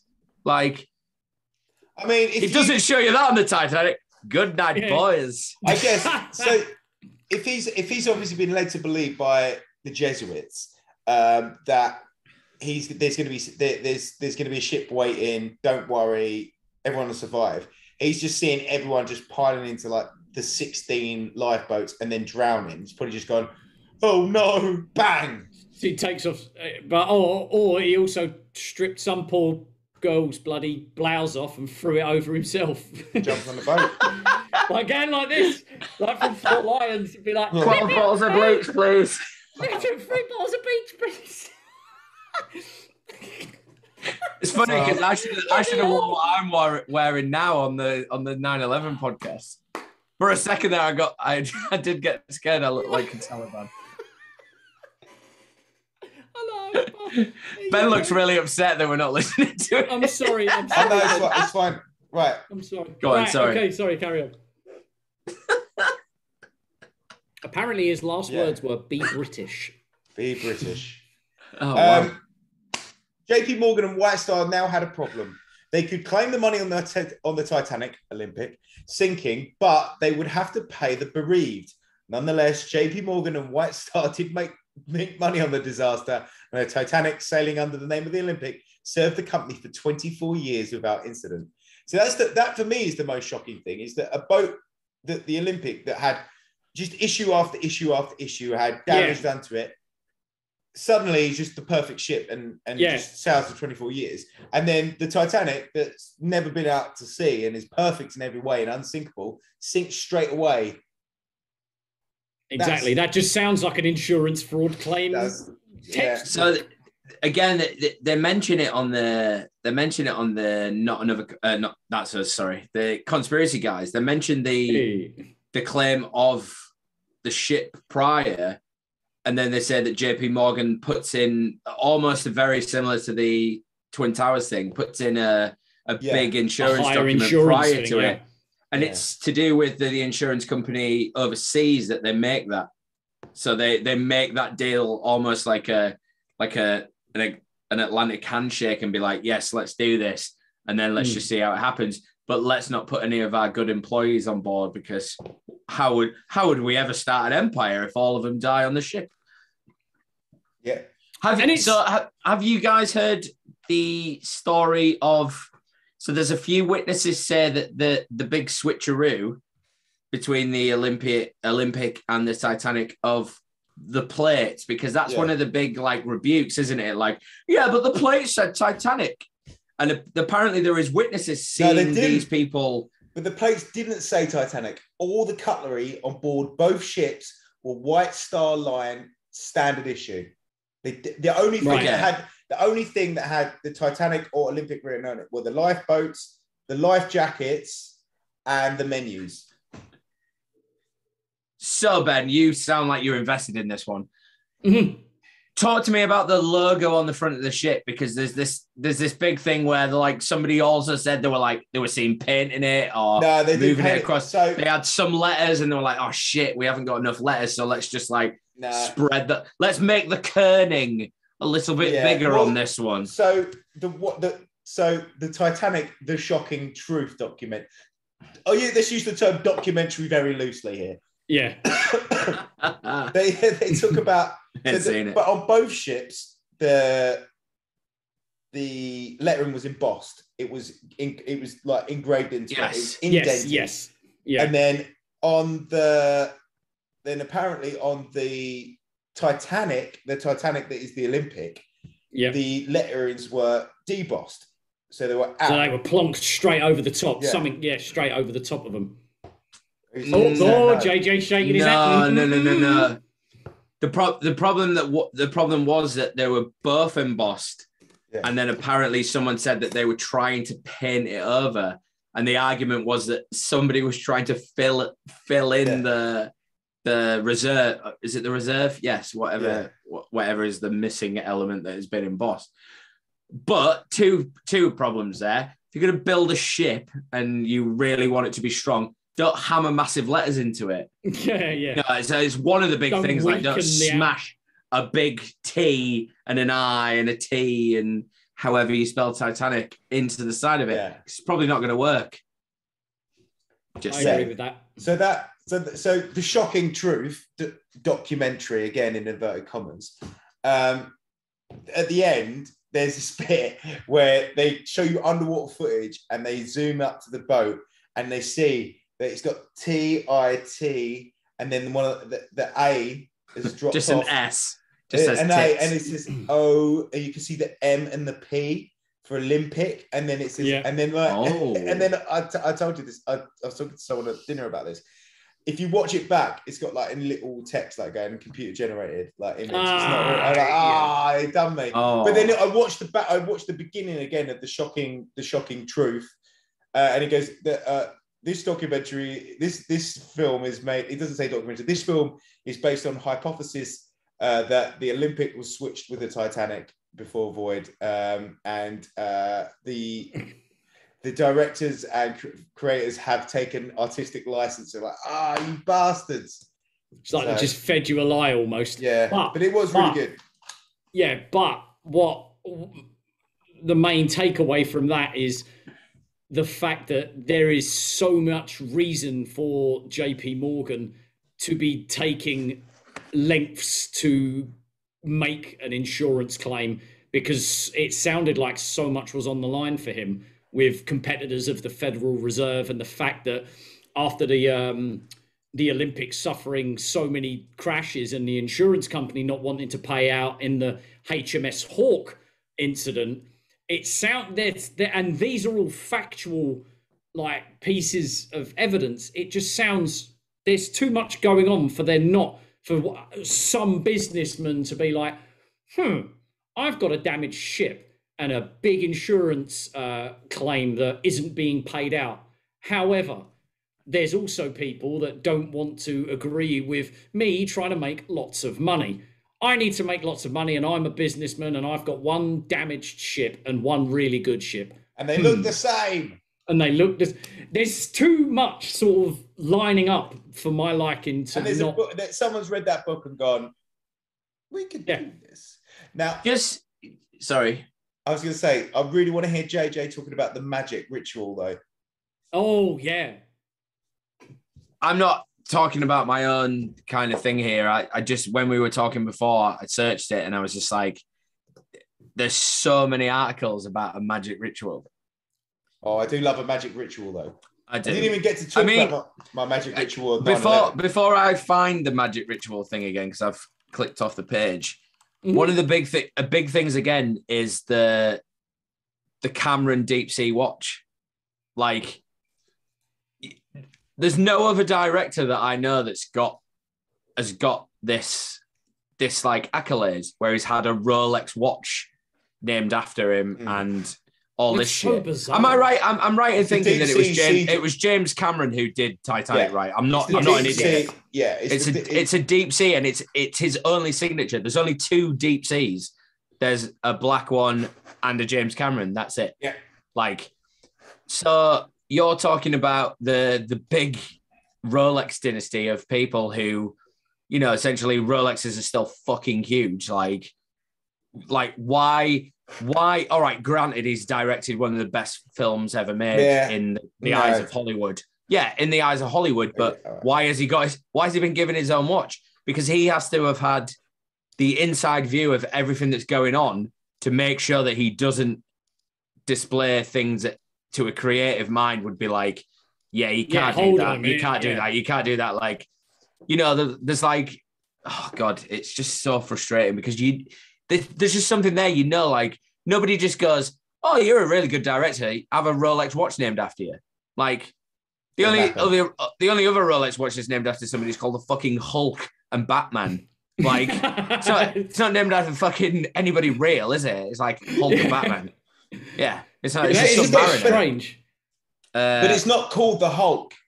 It's just nicknamed no, the Hulk. pe- people have named it the Hulk. Yeah. But the da- the James Cameron one is It's called called, the James Cameron. James Cameron Deep Sea. yeah. Yeah, and it's like two grand more expensive than a normal deep sea. Uh, magic ritual. I had it on here. Sorry. I know I'm one really- about the. Uh, I've got the one of the myth of the Titanic mummies, and that's that's kind of, I guess, Oh. in vain with the whole Yeah. ritual. I'll read that after you. You've got your. No, no, you go. f- You go for it now because there's So there's, there's going to be a lot of mummies in that ship. yeah, there's there was um, I remember re- uh, reading about this uh while doing the research for for this, and uh, I remember that. Well, it was it's it's kind of more of a fun story that's kind of a myth and maybe a fact. I'm not too sure. So anyway, among the stories surrounding the sinking of the luxury liner. Uh, the Titanic in 1912 was a tale about an unlucky mummy whose curse was uh, as responsible for that accident as that floating island of ice that tore open the ship's hull. Through the sto- uh, though the story had been around for years, it spread rapidly in the wake of the popularity of the film Titanic. The tale goes something like this. In the late 1890s, a rich young English woman visiting the archaeological digs of Luxor purchased the coffin and a mummy of the princess of uh, Amun Ra. He arranged for it to be shipped back to his home, but was not there to receive it. He disappeared, never to be found.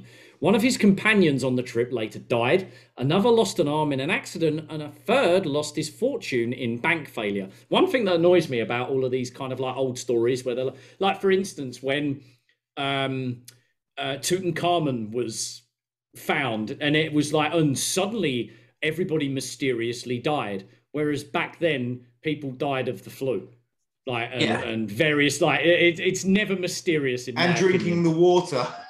Right, yeah, yeah, shit like that. So And they've I- been in a sweating tomb for fucking 20 hours. Right, yeah, yeah. So uh, the coffin reached England and was purchased by a businessman. Uh, three members of the businessman's household were injured in an auto accident and his house caught on fire. Convinced that the mummy was unlucky, the man donated it to the British Museum. We don't know any time differences between these incidents occurring. It could just be a fact of life occurring for like somebody. Yeah. Uh, so again, I don't believe in all of that. Oh, I don't believe in curses and shit like that. But this is just too much of a fun story. Uh, the staff at the museum reported hearing, hearing loud banging and crying noises coming from the coffin at night. Of course they did. Uh, things were thrown around the exhibit room without explanation. Finally, a watchman died. Okay, just that A was they- watchman! uh, that- It's the Rolex guy. Yeah. He's a Was it? watchman. oh, Ah, just a, just a shit joke. Don't worry. Let let that one There- sail.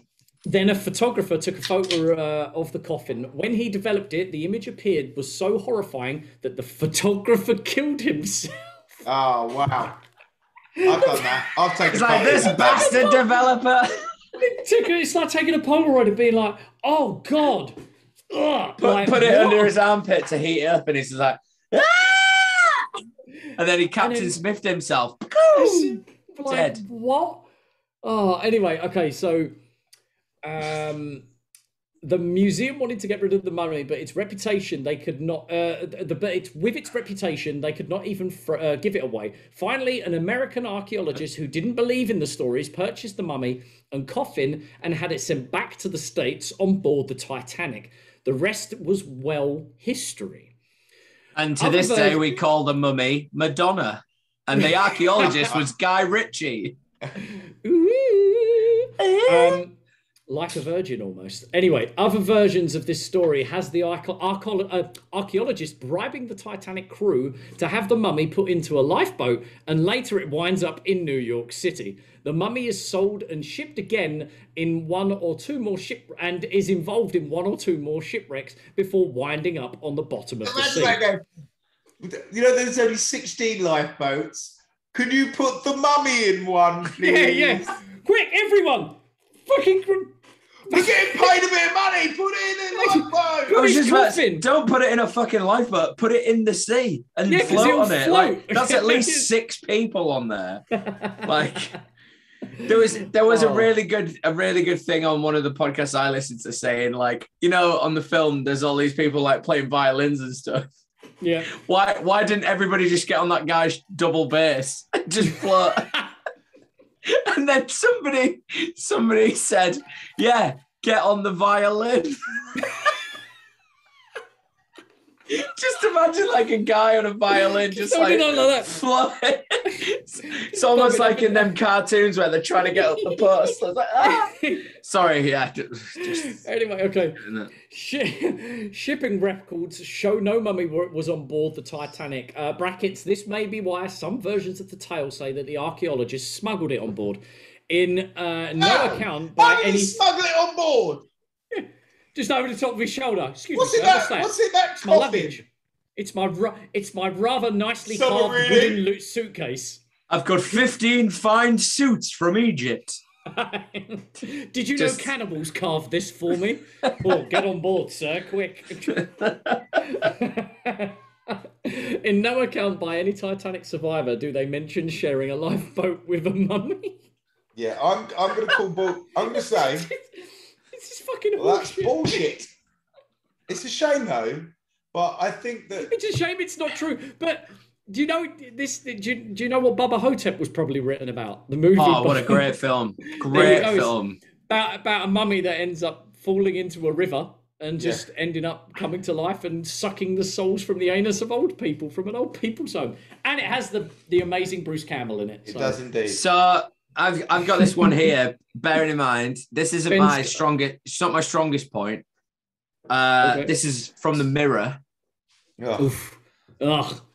Bearing in mind the mirror probably wasn't a thing in 1912, but Mhm. uh, a message in a bottle was thrown from the Titanic hours before sinking, and it baffles scientists.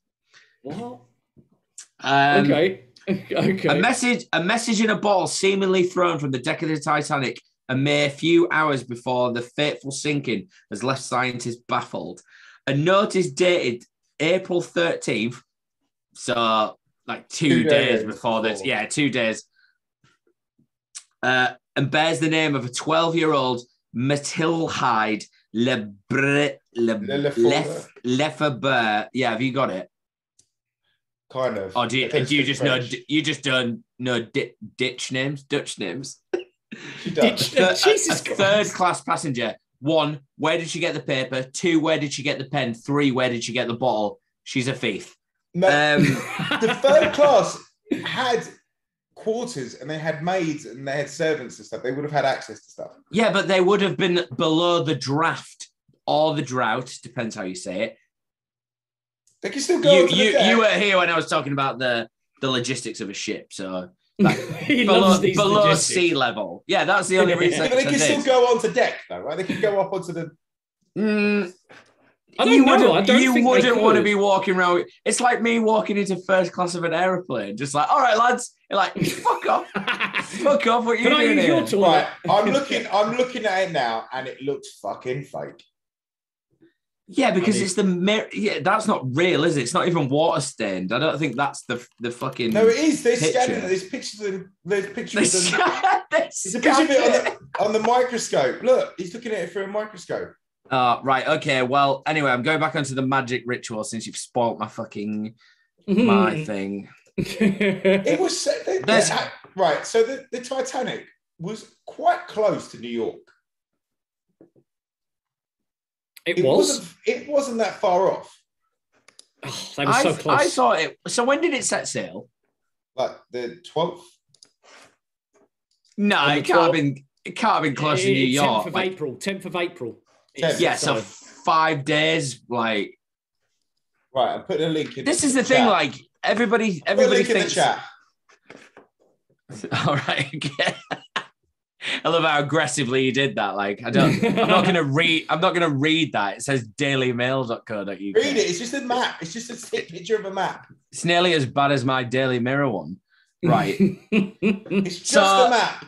For anybody who wants to research any other alternative ideas, Hasabumi Hosanna, it's a pretty good one to read. Um, but I'm not going to go into that one because it's so weird and deep, and it's to do with it's very similar to the mummy thing, Dean. Oh, To okay. do- it's to do with the relics that were on board, very much Mm. similar to uh, Building Seven with 9/11 Oh, okay. because again, I was talking to my mum about it like this last week. 9-11 buildings fell down and then building 7 just fell down on its own like to do with an office fire doubtful um but apparently because obviously the major- majority of people who were going over to america were taking a- across uh, ancient relics to do with their heritage and things like that right. Yes. Yes. it, it almost wasn't an attack on them it was an attack on the things that they were taking over Mm. so, like, rich people tend to carry things that are massively important in terms of why they've got to where they've got. So, Yeah. Of course. there's yeah. there's a theory that that one is a good one. Like the Hasabuma Hosanna one is is very very good. Um, there's quite a few folklore kind of things that are to do with the this, which then it, it does go on to the the ritual thing of the predictions yeah. you know, I don't know how much longer you guys want to go, but it's fucking, it's a, Mhm. a weird one.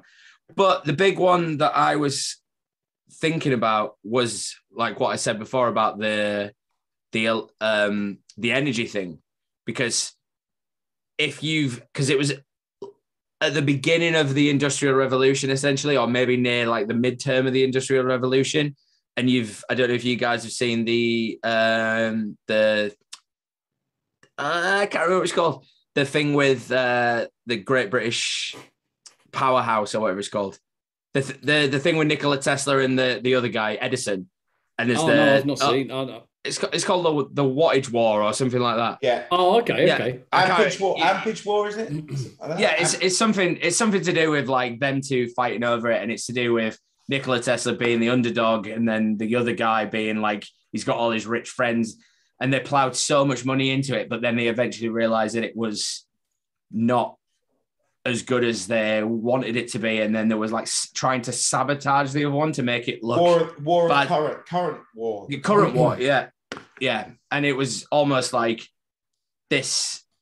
This can't be it because if we, it's almost like science now. You, all these big scientific institutes back the ones that they believe in because it will make them more money. They're not Right, interested in, you know, like for instance, um, Jordan Patterson, uh, not Jordan Patterson, Jordan Peterson has just put out a big thing about Elon Musk saying he's made an electric vehicle. This was impossible. He's made uh, regenerative solar power. This is impossible. He's made a fucking rocket ship and it's renewable. This is impossible. Why isn't he dead? So like you've Oh, kind of yeah. got to think, you've Yeah. kind of got to think, well, why isn't he dead? So there must be some agenda there that's you know good for the government because Right, of course. like yeah, yeah. the rocket the rocket ship is 10 for the price of what NASA, NASA have, NASA have made for fucking 80 years. So there's something there's- there, you know. And have you noticed there's this big again, sorry, going digressing, but there's no, a there's a big agenda at the moment. Like all of a sudden in Britain, we've we're being bombarded with power prices all of a sudden. And Yeah. I spoke to you guys months ago about this uh, poly poly cyber thing that they're doing in Ohio, where they're testing people how long people can survive with outlet without electricity, without gas, and without internet, but separately. And there's a there's a a group of people who are there trialing all of it with wow. so Fucking hell. like the industrial revolution was obviously great for like being in your own land, but then when Domestically.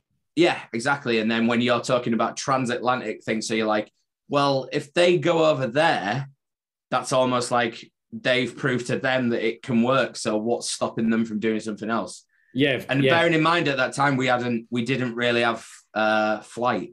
You know, I think that Mm. flight was like 30s, 40s. So it was like, you know, at the time it was quite revolutionary. So that to me, that's the conspiracy. The conspiracy is like there's And something a, no- a new industrial revolution occurring, Yeah. or at least being stopped by because the there's a powers diff- that there's be. a difference between riding a car down the street and the wheels falling off and crashing into like one family and killing them Yeah. You having thousands of people making that because people forget about the people who made that shit run like there was x amount of people who died but the majority of them were staff there weren't exactly. Yeah. you know there, were- there, there weren't the people who Cold just paid 77 grand for a ticket you know War. Yeah. you know and that's that's the thing the majority of people who would have died pretty much instantly are the whole staff like the the lower deck Yeah, the You know, men and stuff. Yeah. pretty much like the people on that documentary on netflix below deck but they aren't sucking each other off they're like come on boys like dig like dig they're Go like dig- harder. yeah exactly keep going faster even though yeah because the thing is they won't have had telecoms will they like we're going down they're like yeah just keep going Yeah. Like- I don't think he can hear you. Oh, we're No. going. We're gonna. and the guy's like oh we're going down let's just suck Yeah, each they other off wouldn't, they wouldn't. They wouldn't have. Yeah, they wouldn't have been able to hear. They wouldn't have. I think it took it took something like forty-five minutes for the message to get to the captain from below And- deck that we we're sinking. Yeah, and even then, wasn't it? Um, the initial captain had said that he immediately come onto deck or something like that, or he had heard that there was a commotion, but he was asleep. he was he was talking about he just ejaculated on deck because he knew that that's Sorry, boys, I've immediately come on deck. and Deck Deck was his uh, right hand man. and just like, aye, aye, Captain. Ah. oh, it's all Ben's, salty. Ben's like, this this is really crude. Like, let's just talk about the real story. that- Come on, guys. This is With about the real Titanic. story. You're wanking on poop decks. yeah, sorry, boys. Good. he won that kinky. Um, yeah, I think. I think. What, what, what do we? Well, I think that's it, right? We completed. Well, there's yeah, the there's the, the major the major conspiracy around like around the Titanic is obviously there there are the silly ones that we had mentioned, like one particularly about uh the mummy, and for how ridiculous that is. That's in the top three reasons as to why it could have possibly sunk. However, like we had been saying, like throughout this podcast, it clearly has to be something to either do with insurance fraud and also offing and Jeffrey Epsteining a lot of these business con- moguls or future business fucking like legends interfering with something that would allow uh, so much more control to so few.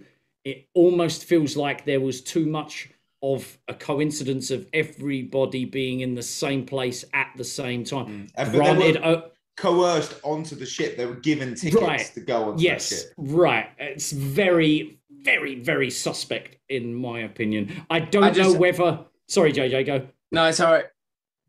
I don't know whether it's insurance and the idea of stopping the Federal Reserve, or it's only one of them and only the other. Like I'm, I'm, I'm stuck between that at the moment. Which one? I I just want to point out that I think if anybody's watching this rather than listening, I think Ben's trying to commit insurance fraud because he keeps flexing. He's got an Apple Pencil and he's got his PlayStation in the background. He's like, I've got a really big TV as well, and I've also got a, a collection of Oxford encyclopedias on a bookshelf behind me. So just want to let everyone know how much stuff I've got before this office burns down. Just just say it. And he's like, look at this really this nice is why I wanted to do the Titanic table. episode. I know, yeah. this is This is your, a magic ritual. This is your book. This is your book about the event. Oh, and he's I've also like, oh, got oh, an I've Xbox also got an. Xbox. Elite controller. Yeah, This is I, mean, I think it was an inside job, but I think everything's an inside job. So I think it was an inside job. And I think it was both those things. I think it was an insurance job and An they were like, opportunity. we're gonna, we're gonna sink the ship. Maybe they were like, we're gonna sink the ship. Um, okay, well, I'm gonna tell my mates to get off, but I'm not gonna. Maybe I won't tell these opposing to the, these people that are gonna definitely be opposed to this Federal Reserve thing. Yeah, I'm not gonna tell them to get off the ship because fuck those guys because they're gonna cost me money. Maybe not to kill them. Maybe he doesn't think, oh, they're gonna die. He thinks that they're gonna get everyone off the ship, but Well, yeah, because they'll most likely wanted to have gone back to Britain, and when these meetings probably would have occurred, it's not they're going to be too just- scared to get back onto another ti- transatlantic. ship. Probably, and by the I time just- it'll take to get there, I can just imagine them having dinner and the, the guy, like the guys wearing the white suits and stuff, to like, sir, um, under the napkin, and there's just like tiny little rubber rings, like little, like, you know, like swimming Yeah, wings. armbands. oh, like water wings, And they're just like- Just put that under your suit, sir. And he's like, What? What you on about? And he's like, Yeah, yeah, yeah, put it on. And then like they're all just like they're pulling them all at once and they're just stuck in like the, the buffet queue, like, ah be obviously shame it's left because if you're who were to first class on the biggest Yeah. ship in the world, you'd have a buffet service. Exactly. Right? Yeah. you would. And Have you noticed that those buffet trays say Olympic on them? Yeah. Yeah, he's Hey, just look, looking down at his wings and he's like, Olympic? Here on the SpaghettiOs over here, it says "Get off the ship." it's Get gonna off sink. the ship. It's going to sink. Well, where am I going to go? And then he looks at the guy and he's got his arm thing over the thing and he's just like, Yes, sir. And then it's written on the side like, No, sir. We're going down. I mean, there's so many fucking. Oh. Too many Oh. too many fucking signals going on but yes um we think it's insurance fraud and epsteining at its highest level I think it's a bit i would at least agree with that on Epstein, like not digressing again, but have you seen the Bill Gates interview? where he says Yeah. oh well he's dead Yeah.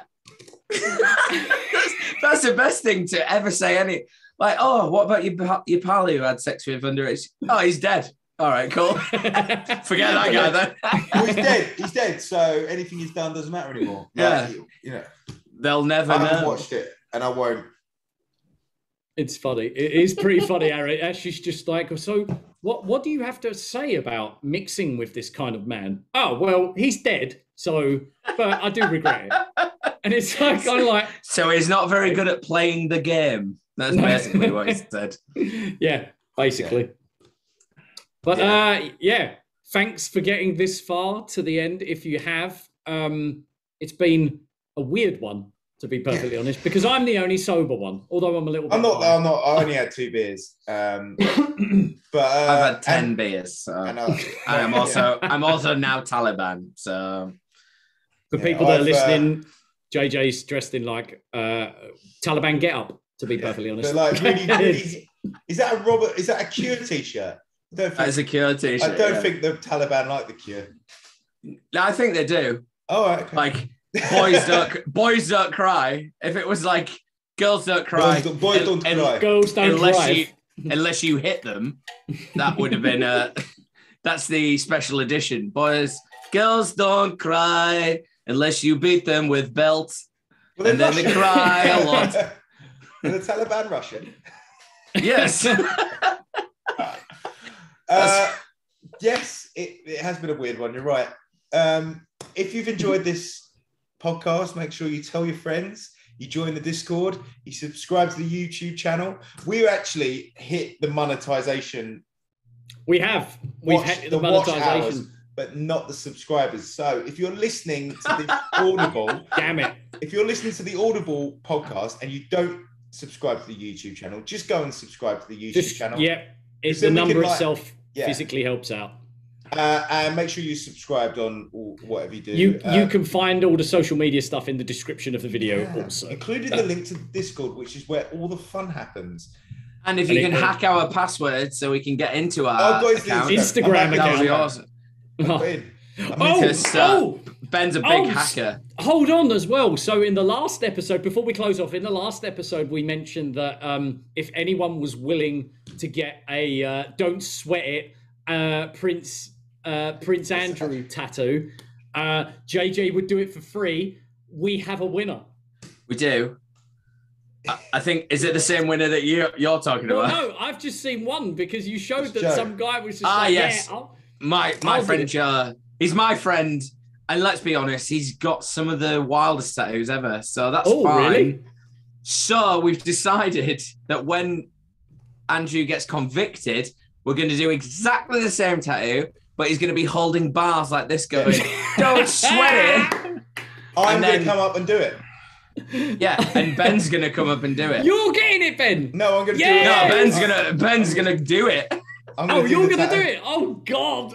And the thing is, Dean, you Don't don't know yet, but mate. you're getting it. We've, No. we've got you an all-inclusive trip out to England, Let- and you're getting it. Full Let's back see what you've won. I thought we were going to come to his house and wait for him to get back from the golf course, and then Yes. rugby tackle him to the ground and just tattoo it on him. Yeah, Oh, And we're gonna do I it with a can't golf believe club. I've just won. I can't believe I've never won anything in my life. Just won. Let's the- see the what you could have won. You just won your own podcast giveaway. Da, da, God, da, da, that's a da. I think it might be an inside job. I think I think Dean might have planned this. ogsocks.co.uk, code NAC, hellfirestudio.uk, code NAC. Um, there's some, we're going to have some ads apparently coming up. on We're doing- Spotify, we do. already. Yeah, we have ads on Spotify, which is nice. That's the premium. That's because Scumbags. that's people who don't have premium, right? No, I've got premium.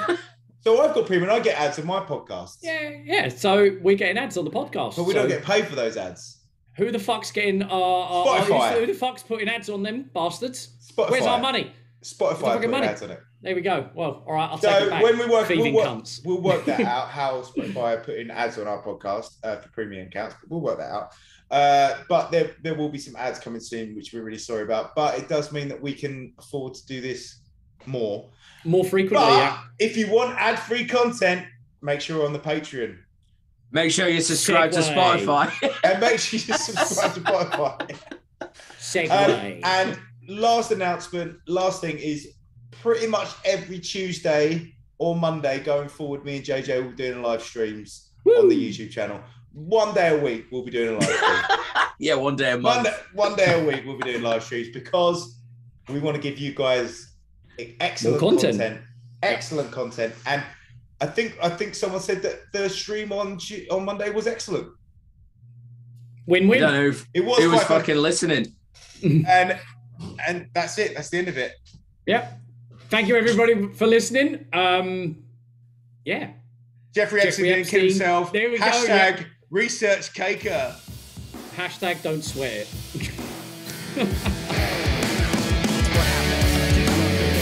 to it.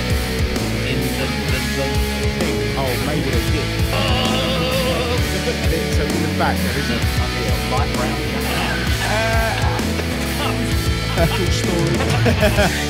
We're not the first. We definitely